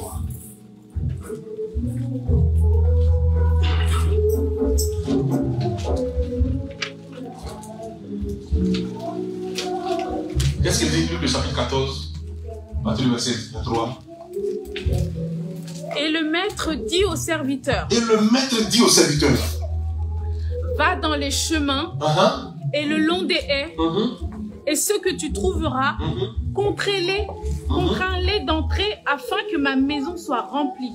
afin qu'elle soit comment? Remplie, Afin qu'elle soit comment? Remplie. Allons ensemble comme la chorale Sacré-Cœur de l'Église universelle de Stein à Paris. Allons one, two, three, afin que ma maison soit comment? Remplie, Afin que ma maison soit comment? Remplie. Alors écoutez, cette histoire-là, c'est l'histoire que Jésus raconte. Il y avait un homme qui a organisé un souper. Il a demandé aux gens de venir manger, il a envoyé des invitations aux gens. Le premier a, qui, à qui il a invité, le premier lui dit J'ai payé un champ. La nuit, là, je dois aller voir le champ. Je vous rappelle qu'en le temps, il n'y avait pas l'électricité. Mais comment quelqu'un, il n'y a pas l'électricité, comment il peut aller voir un champ là Le deuxième dit Je viens de me marier. Je ne peux pas venir. Généralement, quand les gens finissent de se marier, les semaines qui suivent, tout le monde, ils, sont, ils sont à l'affût d'une cérémonie où ils doivent aller se présenter un peu, tout ça. Mais le gars en question dit, je ne veux pas venir parce que je viens de me marier. Il y a eu un troisième encore qui s'est excusé. Alors le serviteur, le maître dit à ses serviteurs, il dit, allez, tout ce que vous allez croiser là, dites-leur de venir. Alors les serviteurs obéissent. Quand ils partent, ils reviennent. Le point qu'on fait, c'est qu'il y a les places vides encore dans la salle. Alors, il donne la troisième méthode. Il dit, allez voir les gens. Tous ceux que vous allez croiser, contraignez-les d'entrer dans ma maison. Allez les contraindre au verset 23. Allez les contraindre d'entrer dans ma maison afin que ma maison soit remplie. Le mot contraindre ici en grec, c'est anakazo. La capacité à obliger les gens. La capacité à forcer les gens. À pousser les gens à venir à l'église. Alors, ça m'amène à nous dire quoi? À nous dire que voici une phase dans laquelle l'église doit pouvoir passer. La capacité à contraindre les gens, à obliger les gens à venir à l'église. Le maître qui est Dieu, il dit à ses serviteurs que nous sommes, allez contraindre les gens, allez obliger les gens. Parce que mon but, c'est que ma maison soit remplie. Mon but, c'est que mon église soit remplie. Mon but, c'est que mon église puisse s'élargir. Le, le but est la vision de Dieu, le cœur de Dieu. Bah, pour une église qui remplit, pour une église qui s'élargit, pour une église qui va de l'avant, pour une église qui sait s'élargir. Donc, si tu es un homme qui a le cœur de Dieu aussi, quand tu arrives à l'église, que ton église est vide, ça va te faire mal. Comment? Ça va te faire mal. Oui. Mais si tu te réjouis, tu as un problème. Amen. Quand ton église est vide, qu'il y a même une seule chaise vide, ça va te faire mal. Parce que le souhait de Dieu, c'est que l'église soit remplie. Avis à tous qui disent, oh, ça, ça importe peu à Dieu que l'église soit vide. L'essentiel, si on se retrouve, gloire à Dieu, Amen. Non, mon frère, non, ma soeur, tu te trompes. Parce que le souhait de Dieu, c'est que l'église soit remplie. Ce que Dieu désire, c'est que l'église soit remplie. Qui remplit l'église? C'est toi et c'est moi. Je dis quoi? C'est toi et c'est moi. Regardez. Est-ce que vous n'avez pas vu les, les, les brebis, les bœufs, tout ça? Nous, ici, peut-être qu'ils ne se promènent pas trop, mais en Afrique, les bœufs en groupe se promènent. Maintenant, écoutez, voici quelqu'un qui a un bœuf qu'il a gardé quelque part. D'accord? Il n'a pas attaché, il a laissé comme ça, le bœuf là. Et puis, il y a, il y a un troupeau qui passe. Hein? Avant que le troupeau ne passe, le berger est passé. Est-ce qu'il va suivre le berger? Il ne va pas suivre le berger. Mais après le berger, quand le le troupeau est en train de passer, il y a 95% des chances que ce bœuf-là suive. Donc ceux qui travaillent pour que l'église grandisse, c'est le troupeau. C'est chacun en invitant son frère. C'est chacun en touchant son frère. C'est comme ça que l'église peut grandir. Parce que 1 plus 1 égale à toujours 2. Oui, oui, mes amis. Donc, un travailleur, facilement, on peut faire grandir l'église. Donc, quand nous sommes 14, 15, 20 à l'église, à partir de 20 que nous sommes, il doit y avoir 40 autres. Maintenant, je vous dis pourquoi la Bible parle des chiffres. Regardez, la Bible dit en acte le chapitre, je pense dans euh, le chapitre, le chapitre 2, le chapitre 3, lorsque euh, euh, l'expérience de la Pentecôte, les Pierre, Pierre sort, il annonce l'évangile. La Bible dit il y a 3000 personnes qui se convertissent. Alors qu'au préalable, les disciples étaient 120. Donc après cette pêche miraculeuse, il y a eu 3120. La Bible dit après, ils sont passés à, à 5120. Mais bien avant ça, Jésus a trois disciples, Pierre, André et Jean. Après, il a 12. Après, il a 70. Pourquoi les chiffres sont importants dans la Bible? Je vous dis pourquoi. Parce que Dieu est un, est un Dieu de résultat. Dieu veut l'expansion. Le langage du royaume, c'est l'addition et la multiplication. La soustraction et, la soustraction ne sont pas le langage du royaume. Dieu n'a pas envie de perdre. Dieu n'a pas envie que l'église décroisse. Dieu veut que l'église grandisse. L'église est un système qui a besoin de grandir. L'église est un système qui a besoin de s'élargir. Si vous pensez que l'église travaille pour perdre, l'église ne travaille jamais. Parce que Jésus, dans son expansion, veut que l'église grandisse. Et donc, s'il y a des chrétiens dans l'église, ils doivent travailler pour une expansion. Ils doivent travailler pour la croissance de l'église. Oh, je suis pas là avec vous. Oh, oh, oh, oh, oh. L'église doit travailler pour grandir. Si vous ne le savez pas, je vous le dis ce soir. L'église doit travailler pour grandir. Vous ne pouvez pas être dans un milieu, vous ne pouvez pas être dans une communauté et puis ne pas soupirer après l'expansion de la communauté. L'expansion, n'est-ce pas, de l'église. Ce que Dieu veut, c'est que l'église puisse grandir. C'est que l'église grandisse. L'église est de Dieu. Et Dieu merci. Regardez votre nom. Il est tellement apostolique et prophétique. C'est l'église de Dieu, l'église, l'église universelle de Dieu. Et l'église, pourquoi? L'église, pourquoi? L'église, pourquoi? Peut-être que vous êtes assis ici tous les dimanches, mais vous ne vous rappelez pas. Ça, ça a été mis là pour vous rappeler. C'est votre tableau de condamnation qui est là. Pour vous rappeler chaque fois. Vous devez travailler pour que l'église aille partout. Le message, la vision que tu as donné à l'apôtre aille partout. On doit travailler pour ça. On doit partager l'église partout. Notre communauté, n'est-ce pas, doit être accessible à tous. On doit partager l'évangile partout. Partager la parole de Dieu partout. Parce que c'est ce à quoi Dieu nous a appelés. Votre appel qui plane sur vous. Vous êtes des évangélistes, des missionnaires. Des hommes qui doivent apporter l'évangile à tout le monde. Qui doivent apporter l'évangile à tout le monde. Vous ne le savez pas. Mais je vous rappelle encore. Peut-être l'apôtre a parlé. Vous n'avez jamais parlé. Dieu merci, lui, on n'a on n'a pas échangé par rapport à tout ça.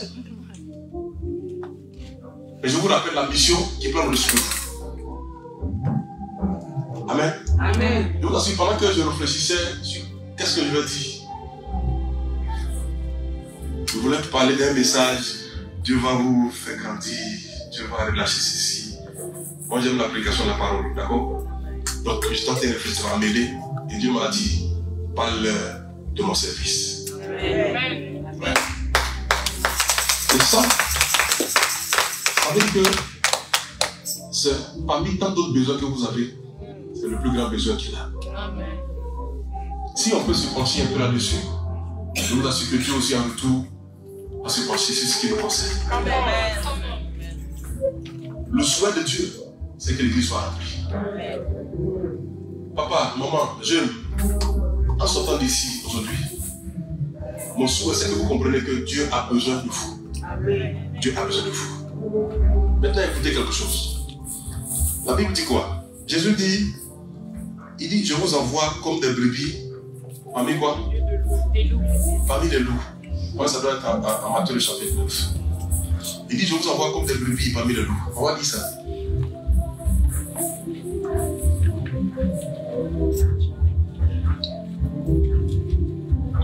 Matthieu 9, je pense que ça doit être Matthieu 9, 35.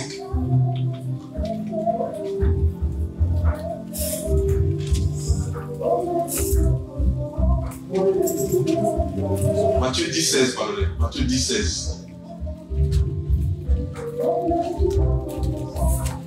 Il dit, il dit, je vous envoie, Comme des brebis au milieu des loups. je, je vous envoie comme des brebis Au milieu au des milieu loups. des loups. Soyez comment?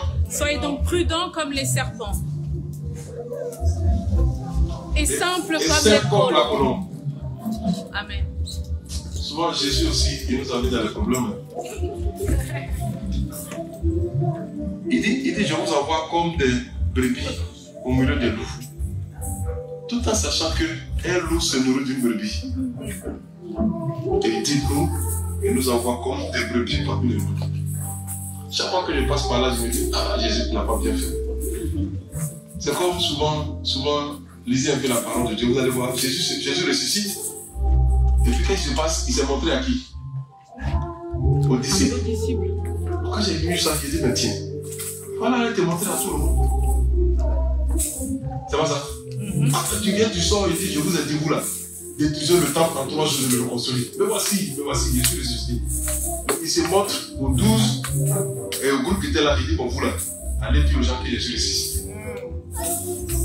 Ça, c'est ce qu'on appelle la sagesse infiniment variée de Dieu. Il y a des choses qui relèvent de la souveraineté de Dieu. Alors il dit, je vous envoie comme des brebis parmi les loups. Soyez comment Prudents. Comme quoi?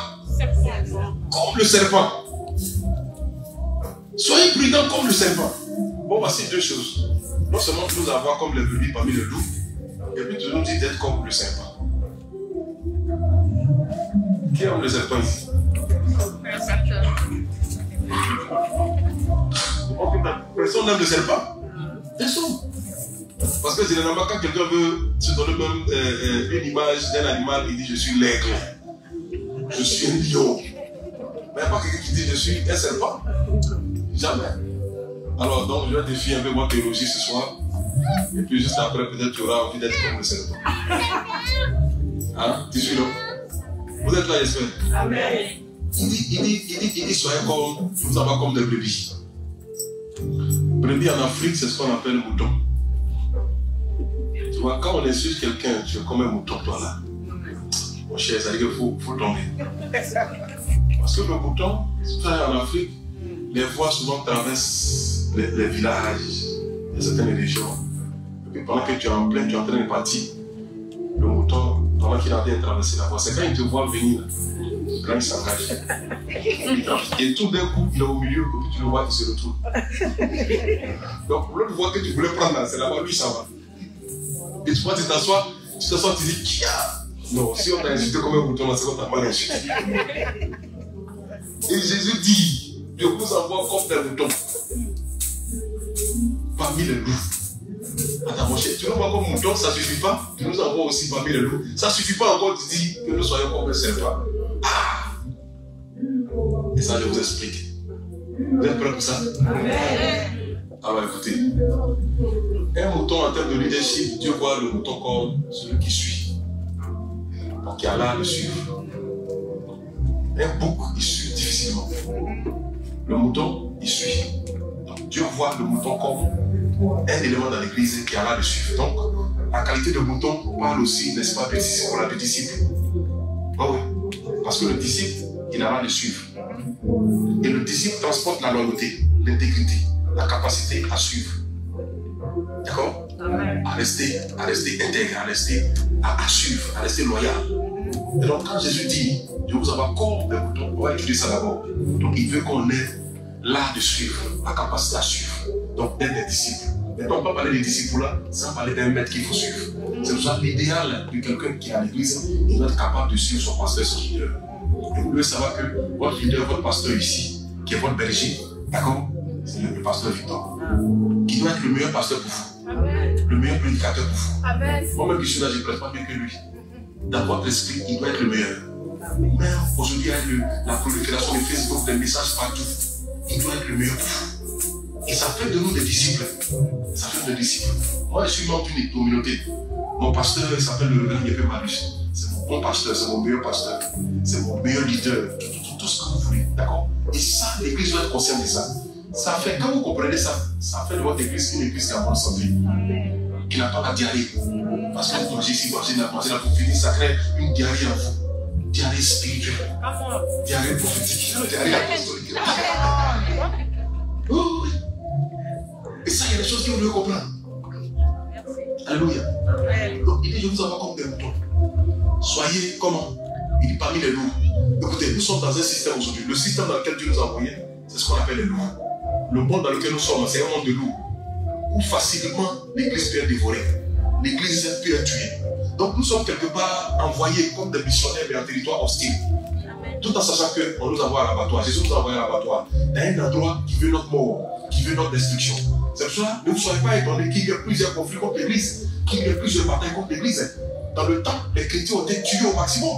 Aujourd'hui, avec le développement, c'est vrai qu'on va dire que ça a atténué, mais c'est d'une autre façon, ça travaille d'une autre façon, où l'église est empêchée, où l'église est bloquée, ou même quand on- on- les gens refusent de faire des financements aux églises, les lois sont votées dans le but de, de resserrer l'église. Beaucoup de choses sont faites. Beaucoup de choses sont faites. D'autres n'ont pas envie de reconnaître les églises. Les lois sont votées. Aujourd'hui, même pour pas que l'église puisse faire monter un peu son niveau de son, il faudrait que l'église soit dans un cadre qui est sonorisé, qui n'arrive pas à s'exprimer. Même quand les gens sortent, il y a des points comme ça, quand les gens sortent, on est dit que l'église s'exprime. Mais d'autres sont pour s'exprimer. Quelqu'un peut venir jouer de la musique dans la rue. Mais quand il s'agit de prêcher l'évangile, non, il fait de la nuisance sonore. Et plein de choses sont faites. Nous sommes des brebis parmi les loups. Et alors, quel comportement, quel caractère on doit avoir? Je dresse le tableau. Le deuxième tableau que je dresse, on doit être comme le serpent. Comment était le serpent Le serpent, quand il a été créé, au préalable, le serpent, il ne rampait pas. C'est comme il avait des pattes. C'est après la malédiction que Dieu a fait qu'il a commencé à ramper. Quand il a fait le forfait avec la dame Ève, d'accord? Dieu dit désormais tu vas ramper. D'accord? Et quoi? Il aura inimitié entre ta postérité et celle des hommes. Donc ça veut dire quoi? Entre nous et les hommes, il y a toujours parole. Mais tout en sachant que sur la terre, la terre appartient aux hommes. Les hommes sont plus nombreux. Donc le serpent, il est dans un territoire où les gens à le tuer. C'est comme nous aussi, des brebis parmi les loups. Un territoire où ça le tue. J'ai fait les tableaux. Vous suivez un peu? Alors pourquoi Je vous dis pourquoi Jésus dit soyons comme le serpent? Parce que notre vie est semblable, le mouton parmi les loups est semblable aussi au, au serpent parmi les hommes. Donc si l'homme croise le serpent, il le tue. D'accord? Oh oui. Si le serpent aussi voit l'homme, il pique. Donc, il y a un balade entre le serpent et les hommes. Et lui qui a l'avantage, c'est les hommes. Les hommes ont des avantages que l'homme. Parce que l'homme est plus, sera plus nombreux, encore plus nombreux que les serpents. C'est son territoire. Et donc, le serpent qui vient dans ce territoire qui est dominé par les hommes, il est comme la brebis parmi les loups. Alors, Dieu nous dit d'être comme le serpent. Mais pourquoi Jésus dit que nous soyons comme le serpent Pendant que le serpent était en territoire ennemi, il, il est classé comme l'animal le plus désavantageux. Parce que ses, ses pattes ont été enlevées. Un, de deux, ces dents-là, Dieu a laissé seulement que deux dents. Oui, que deux dents. Et pour finir, lui doit se cacher. Mais le serpent a été l'une des espèces qui a réussi à se multiplier sur la terre. Le serpent a été l'une des espèces qui a réussi à s'élargir, qui a réussi à se multiplier. Je vous parle. Est-ce que vous savez qu'il y a l'île au serpent Vous savez pas ça? Il y a l'île au serpent. C'est un endroit où c'est des serpents seulement. Aucun oiseau ne peut se poser là-bas. Mais le, le, serpent classé comme un animal désavantagé, qui ne veut pas se multiplier, qui est placé en territoire ennemi, arrive à se multiplier. Mais comment il a fait pour arriver à se multiplier? Le serpent, il est dans tous les milieux. savez qu'il y a serpent dans l'eau? Hein? Oui, il y a serpent dans l'eau. Il y a serpent dans le désert. Et ici, on a moins de sang de voir un lion apparaître ici. Mais on a plus de sang de voir un serpent se promener quelque part ici. Comment le serpent a pu infiltrer le milieu? Je vous fais un coup. Je me demande si le temps pourra suffire. Des frères chrétiens, très intelligents, pourquoi on réfléchit sur la vie de l'église d'ici les 15 prochaines années? Pourquoi on est table à partir de la parole de Dieu? Qu'on table sur ce point important N'est-ce pas? Comment faire pour influencer? Mais alors écoutez, il y a une révélation que Jésus nous a donnée. Il dit nous sommes comme le serpent. Comment le serpent, pendant qu'il est dans ce territoire ennemi, il arrive à se multiplier Il arrive à influencer. Il arrive à s'élargir. Il arrive à s'étendre. Comment? Le serpent grimpe. Il disait, il y a le serpent dans le désert. Il y a un des serpents dans le désert qu'on appelle le taillement du désert. Son seul venin, une goutte de son venin, dans 100 litres d'eau qu'on donne à un homme pour mourir, pour voir, il meurt. Le serpent s'est développé. Il n'avait pas d'atout. Mais le seul atout qu'il a, c'est son bisou. Le bisou de serpent te tue. Il avait un seul atout. Son atout majeur, c'est ça. Le deuxième atout, le serpent a appris la loi de l'indépendance. Vous n'allez jamais voir les serpents en groupe. Quand, quand ils sortent de l'œuf de la mer, chaque serpent se cherche. Ils ont appris à, à être indépendants. Ça veut dire quelque chose. Je viens à mon message tout à l'heure. Le serpent a appris à se déployer. Il a appris à se défendre. Le serpent a une certaine sagesse. C'est comment protéger ses œufs? Comment il peut se priver de nourriture pendant des temps? Pour protéger ce qu'il a, il a ce qu'il a, pondu. Le serpent a beaucoup d'art. Il y a une sagesse dans le serpent. Que Dieu voulait que l'Église ait. Pendant que nous sommes en territoire ennemi, Dieu voulait qu'on soit comme le serpent. En termes d'espace d'expansion, pour que l'Église puisse gagner les nations. Pour que l'Église puisse s'infiltrer partout. Le serpent a l'art d'infiltration. Il peut rentrer, n'est-ce pas, dans le bâtiment fermé. Il peut rentrer. Mais l'Église doit infiltrer les nations. L'Église doit infiltrer les systèmes. L'Église doit entrer dans les systèmes. Le système économique, le système politique, le système, système, système, système. L'Église doit pouvoir infiltrer le système. Mais comment faire pour que l'Église infiltre le système? Nous avons un message pour l'Église. Nous avons une parole pour l'Église. Nous avons une parole, n'est-ce pas, pour les jeunes gens, des frères et des sœurs. Nous avons une parole. Nous avons une parole. Bon, on va arrêter là. Ouais, c'est pour ça qu'on veut finir à 17h. Il est quelle déjà 16h combien 7h10. 16h combien 16h10. On va dire 16h30. On peut aller. Continuez. On va aller jusqu'à 30 Amen. Gentil.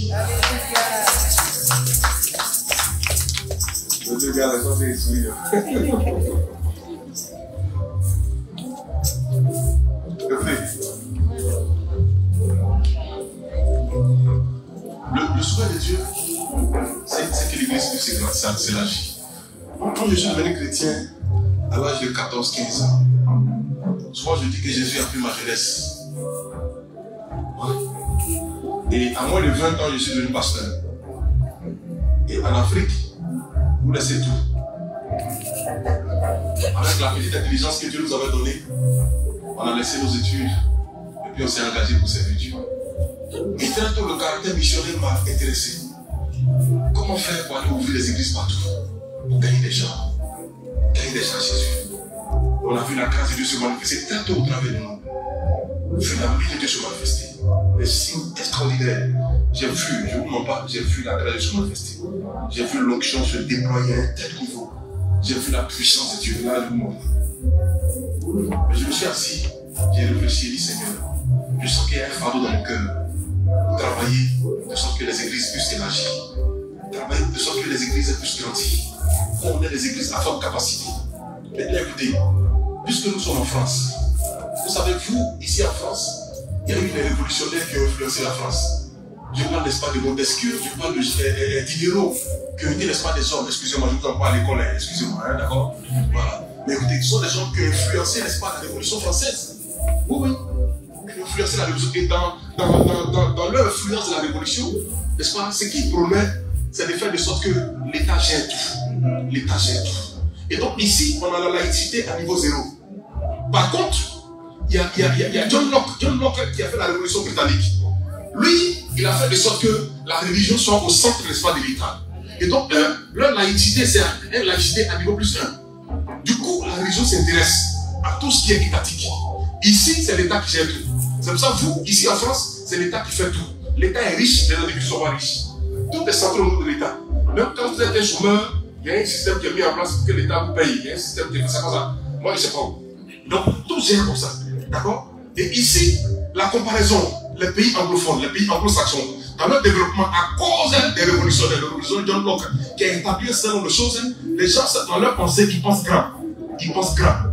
Ils pensent grand. Par contre, la France n'est pas dans ce niveau de développement, de grandeur. C'est pour cela que les maisons sont petites, les petites chambres, les petits trucs, les voitures sont petites, hein, même la nourriture est petite. Hein. Bon, McDo, c'est petit comme ça, petit. On dit Burger King, grand. Tu penses que c'est petit comme ça, petit, le nom est bon, mais c'est petit. Mais allez dans les pays anglo-saxons, les pays l'Amérique, tout ce qu'ils font, c'est grand. GMC, voiture large, leurs leurs bâtiments sont grands, ils construisent de grosses maisons. Tout ce qu'ils font, c'est grand. La nourriture, hein, tout est grand. Tout ce qu'ils font, c'est grand. Et de sorte que dans la fête de Dieu aussi, là, la francophonie fait des petites choses, hein, petites églises, hein, petites capacités, petites choses. hein. Les églises sont petites, mais les pays hein, ils travaillent dans le grand. Les églises sont hein, les bâtiments sont grands. Ce qu'ils font, c'est grand, tout ça? Écoutez-moi, monsieur. Écoutez-moi. Et je pense que cette loi-là, nous, les fils de Dieu, suscités, n'est-ce pas, dans ce 21e siècle-là, on doit avoir un esprit très élevé. Mais un esprit public, comprendre que ce que Dieu fait, le travail de Dieu, c'est un travail d'expansion. C'est un travail de grandeur. Je vous disais tout à l'heure que le langage du royaume, c'est un langage qui est pour l'addition et la multiplication. Non pas pour la, pour la soustraction et, et, et, et, et- et quoi La division. la soustraction et la division. D'accord? Oui. Donc il faut une expansion. Si vous avez compris ça, je vous assure qu'on a compris Dieu. Parce que Dieu, dans son approche, il veut l'expansion. Même dans notre intimité avec lui. Je dis ça pour qu'on puisse comprendre un peu Dieu. Dans notre intimité avec lui. Quand tu as prié une heure, il ne faut pas dire que tu es super. hein. Le prochain, Dieu t'attend au prochain niveau. Il t'attend aux deux heures. Quand tu as fait deux heures, il t'attend à trois heures. Quand tu as fait trois heures, il t'attend à quatre heures. Parce que Dieu, dans son expression, il a envie d'aller de l'avant. Il a envie de progresser.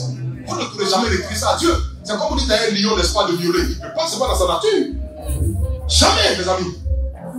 Donc, dans la nature de Dieu, il y a l'expansion. Donc, quand Dieu attire quelqu'un à lui, il veut que la personne s'assimile à sa pensée. C'est pour ça que la Bible dit en Amos 3, verset 3, deux hommes peuvent-ils marcher ensemble sans être convenus au préalable? Il faut connaître Dieu, le Dieu auquel tu es connecté.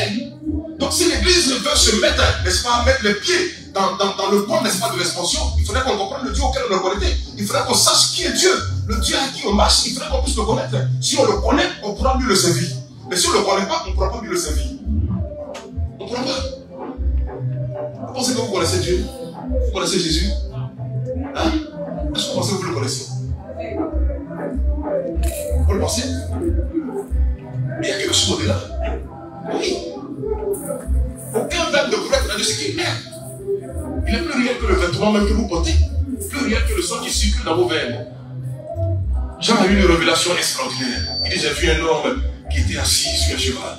Son visage était comme le soleil lorsqu'il brille dans toute sa force. Ses yeux étaient comme deux colonnes de feu. De sa bouche sortait une épée flamboyante. Ses genoux étaient comme de l'air poli. Il était monté sur un cheval fort grand. Et sur sa cuisse était écrit un nom Seigneur des Seigneurs, Roi des Rois. Puissant il est, il est fort. Dieu ne lui dit pas avec quelqu'un. Il règne. Et c'est ce Dieu-là qui a besoin qu'on puisse s'assimiler à lui et travailler dans un esprit de grandeur. Comprends aujourd'hui que Dieu est un Dieu, n'est-ce pas, qui travaille dans la grandeur. Dieu travaille dans un esprit élevé. Si tu as compris ça, même dans ce que tu fais dehors, tu vas voir qu'il y a un esprit excellent qui va t'accompagner. Il y a un esprit d'organisation qui va t'accompagner. Parce que Dieu n'aime pas la médiocrité. Dieu n'aime pas la médiocrité. Tu vas comprendre qu'il y a quelque chose qui va te Les gens ne pourront pas te comprendre. hein. Il y, a, une substance qui va couler en toi. Il y a quelque chose qui va couler en toi. Dieu va te rendre différent. Parce que tu as compris cette notion. C'est ça que je dis, ce que je suis en train de dire, hein, c'est un peu, je veux dire, comme des introductions. Pour préparer votre cœur à comprendre dans quelle langue Dieu veut qu'on puisse l'appeler.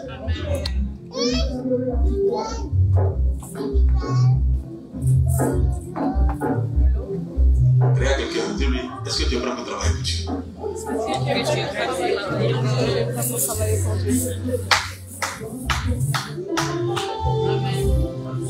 Est-ce que, est-ce que tu es prêt? Oui, c'est que- Ah. Est-ce que tu es prêt? Oui. Et c'est pour cela, écoutez, Jésus, Jésus ressuscite en Luc le chapitre 24, verset 44 ou verset 45. Il ressuscite, il sort de la tombe. La Bible dit qu'il fait 40 jours avec les disciples. Pendant 40 jours, la Bible dit qu'il ouvre leur esprit pour qu'ils comprennent les Écritures. Ça, c'est le coup biblique le plus intensif que Jésus a fait. 40 jours avec les gens. Il avait donné 3 ans, 3 ans, 6 mois avec eux. Écoutez, il a pris, n'est-ce pas, le rassemblement de ces 3 ans, 6 mois de formation qu'il leur a donné. Il a condensé ça en 40 jours. Il a étiré leur esprit. C'est pour ça le mot, n'est-ce pas, qui marche avec Jésus a ouvert leur esprit, ça marche avec une idée de, quelque chose, une matière qui est élastique. Jésus a étiré leur esprit pour qu'ils puissent comprendre les Écritures. Qu'ils comprennent les Écritures. Et on a vu les signes qui les accompagnaient. Les gens, n'est-ce pas, qui ont impacté leur temps et qui ont marqué, n'est-ce pas, leur génération. Il y a des choses qu'il faut comprendre, les amis. Parce qu'il vaut mieux comprendre. Vaut mieux comprendre. Quand tu as compris, ta manière d'être change. Oui. Quand tu as compris, ta manière d'être change. Change.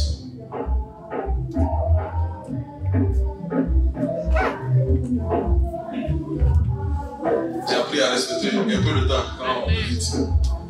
Pour que je puisse revenir la prochaine fois. Que Dieu vous bénisse. Et que la grâce soit avec vous. Qu'il y ait une onction qui coule sur vous au nom de Jésus-Christ. Accompagne-moi, accompagne-moi. Vas-y. Pralagato sagate. En amaya la quinte de pau de skete lautem Jesus Christ. E de pri de pau de laus skete lautem medicos.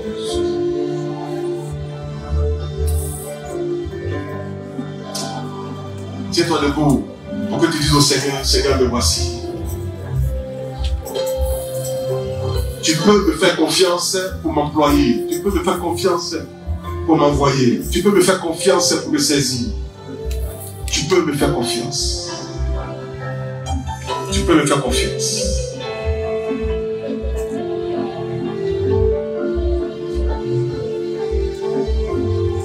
Donnez-moi cinq minutes, je prie avec vous avant de laisser la parole. Commence à prier. Commence à prier pour dire au Seigneur, tu peux m'envoyer. Tu peux me saisir. Commence à dire au Seigneur, je veux être un instrument de tes mains. Je veux être ton, élément. Élevons la voix, élevons la voix. Je veux entendre la voix de tout le monde, s'il vous plaît. Faisons-le encore. Un peu de fond encore. Allons-y. Allons encore. Fais-le encore, fais-le encore.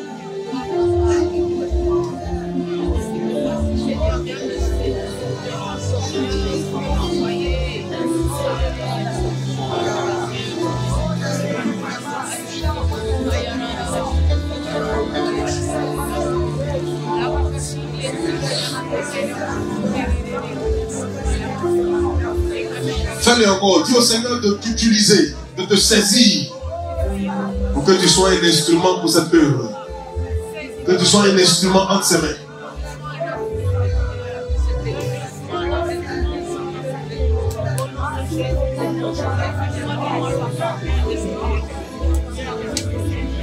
Prends les mains et c'est là que tu déclares que tout ce qui t'empêche de te servir, tout ce qui est un poids devant ton service, c'est que ce poids soit levé. Que ce poids soit brisé. Si c'est la honte, si c'est la tiédeur, si c'est la fatigue, si c'est l'indifférence, c'est que cela se loigne de toi. Mais tu réalises que Dieu a besoin des hommes. Tu réalises que Dieu a besoin de toi, de moi, pour filtrer les systèmes. Tu réalises que Dieu a besoin de nous employer et nous envoyer.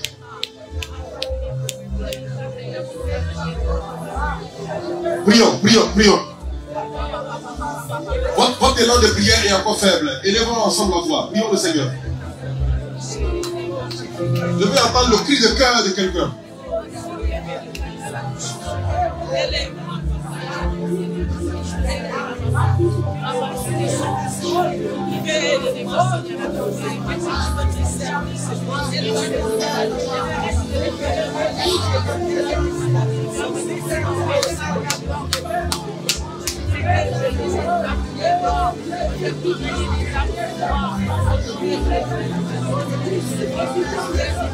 Et dis au Seigneur, me voici, me voici. Tu peux me saisir.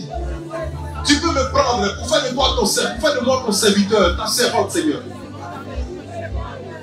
Si tu pries bien, la grâce va venir sur toi.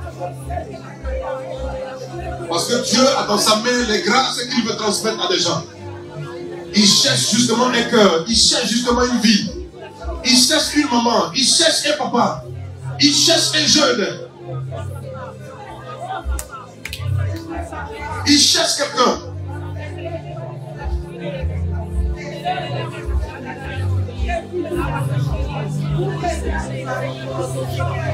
La main de Dieu est sur le point de venir sur la vie de quelqu'un maintenant.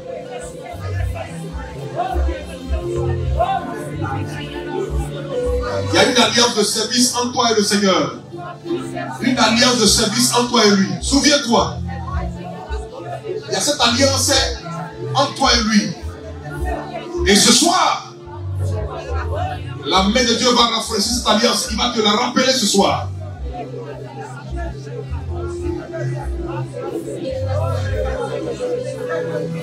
Maman, la grâce va venir sur toi. Il va te rappeler cette alliance.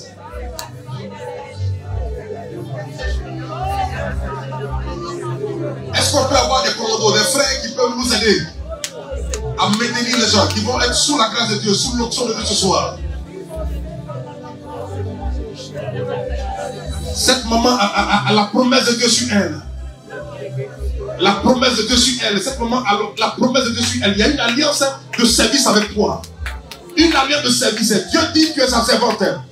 Il dit tu es sa servante. Il y a une alliance de service pour toi.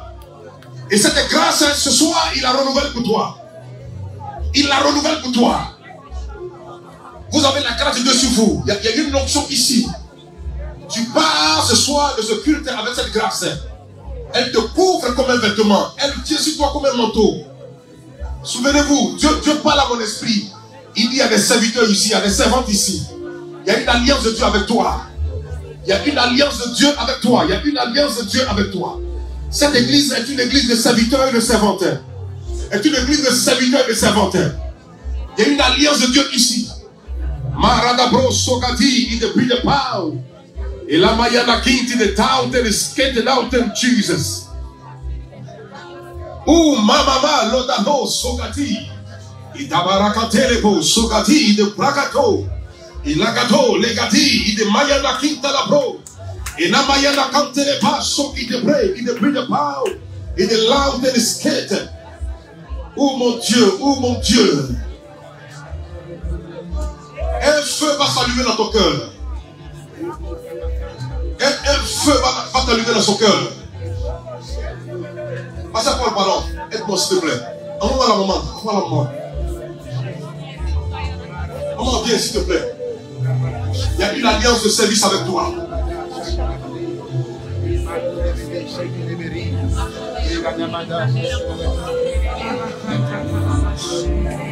Dieu, Dieu, Dieu a sa main sur toi. Il a sa main sur toi. Il y a une option extraordinaire. Je vois, je vois la grâce de Dieu cette maman. Et maman, pendant que Dieu serait en train, n'est-ce pas, de te couvrir, il va répandre à cause de toi sa grâce sur d'autres femmes dans cette communauté. Bishop, pardon, aide-moi avec la maman. Ça va être fort. C'est une décharge de Dieu pour elle. Il y a une distribution divine que Dieu opère. Recevez la grâce. À vous qui avez la promesse de recevoir une option particulière. Elle vient sur vous. Pour certains, ça va être comme des frissons qui traversent ton corps.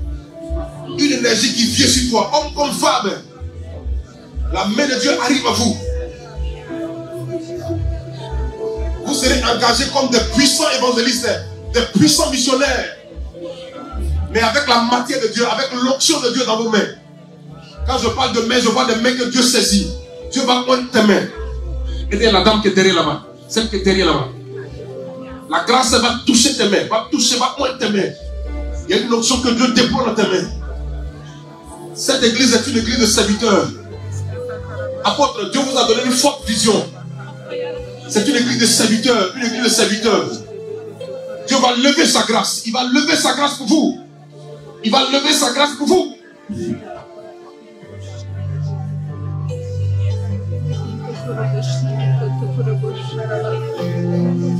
Il va lever sa grâce pour vous.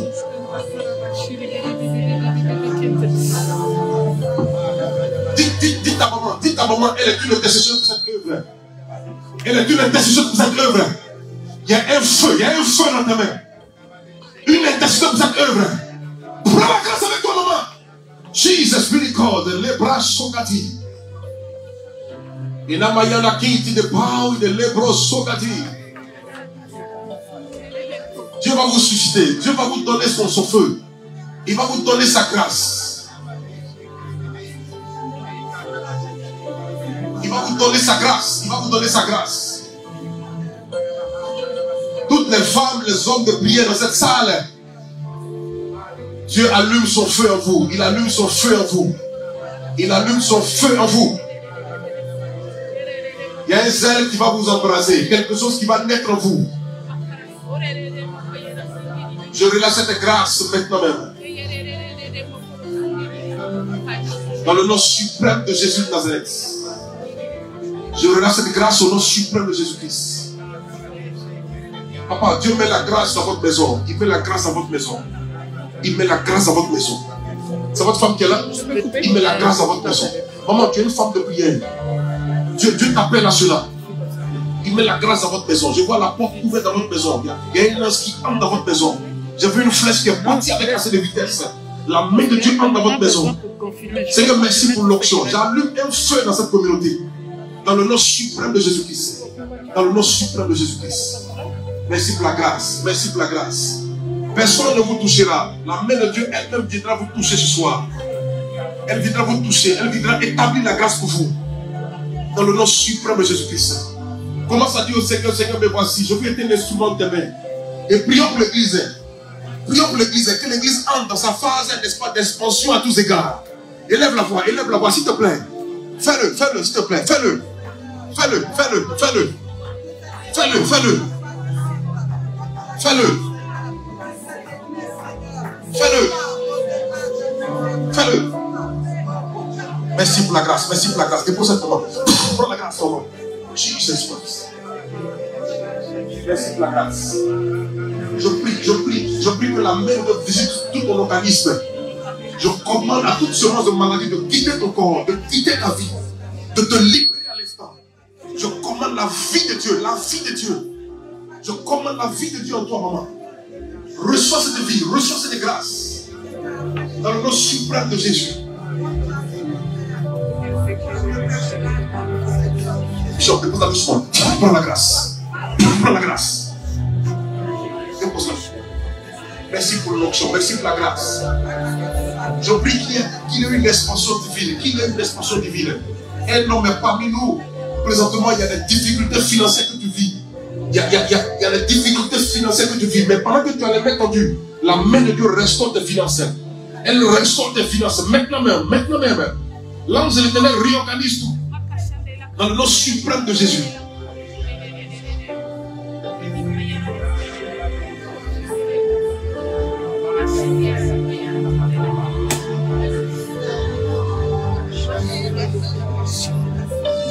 Merci pour la grâce de Dieu. Merci pour la grâce de Dieu. Merci de toucher à cet homme. De restaurer toutes choses pour lui. Au nom suprême de Jésus. Je prie pour la vie de Dieu. Je prie pour la vie de Dieu. Il y a une réorganisation extraordinaire que le ciel est en pour vous. Seigneur, merci pour cette option. Merci pour la grâce. Au nom suprême de Jésus-Christ. Tu donnes ce témoignage à ce temps par l'option de l'Esprit. Au nom suprême de Jésus-Christ. Merci pour la grâce. De Jésus.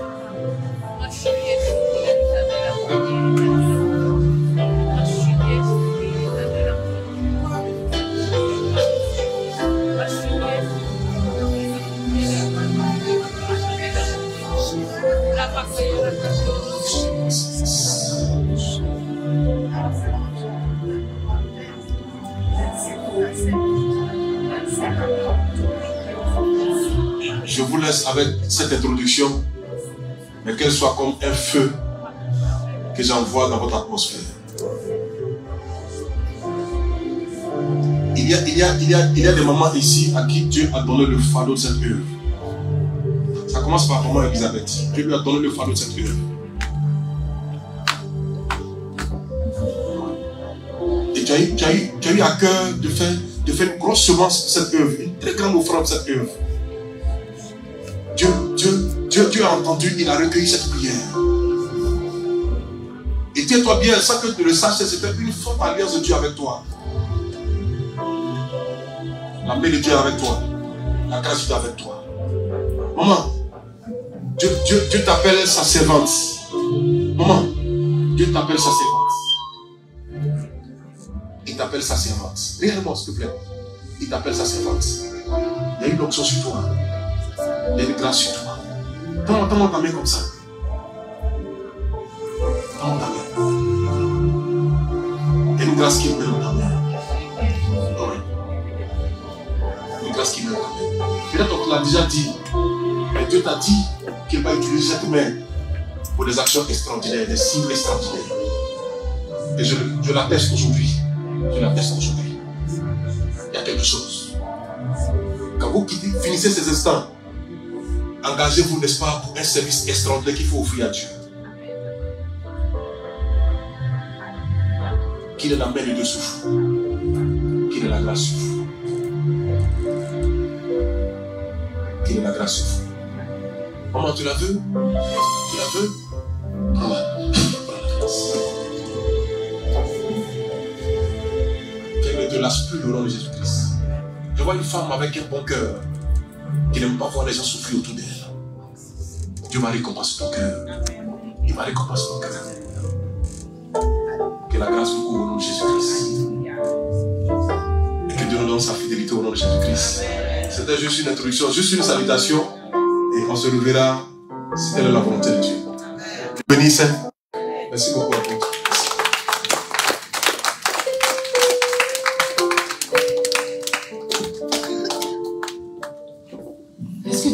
Le Seigneur C'était une puissante salutation. Oh, que la parole est bonne. Oh, que la parole, elle peut nous faire du bien. Amen. Je bénis le Seigneur pour cette parole. Je bénis le Seigneur pour nous avoir révélé au travers de son serviteur le mystère qu'il y a derrière Matthieu 28, 19. Et je prie pour que chacun de nous puisse garder la grâce qui a été déposée en cet après-midi. Amen. Est-ce qu'on peut acclamer le Seigneur pour la vie de l'homme de Dieu, la vie du prophète? Il a dit que c'était juste une salutation. Nous, on veut tout. On veut le bisou. Amen. On veut plus que la salutation la prochaine fois. Et je sais que si, le Seigneur le permet, tu reviendras encore nous bénir et, et nous apporter euh, la parole. Amen. C'est vrai qu'on a un peu débordé pour le culte, mais on ne peut pas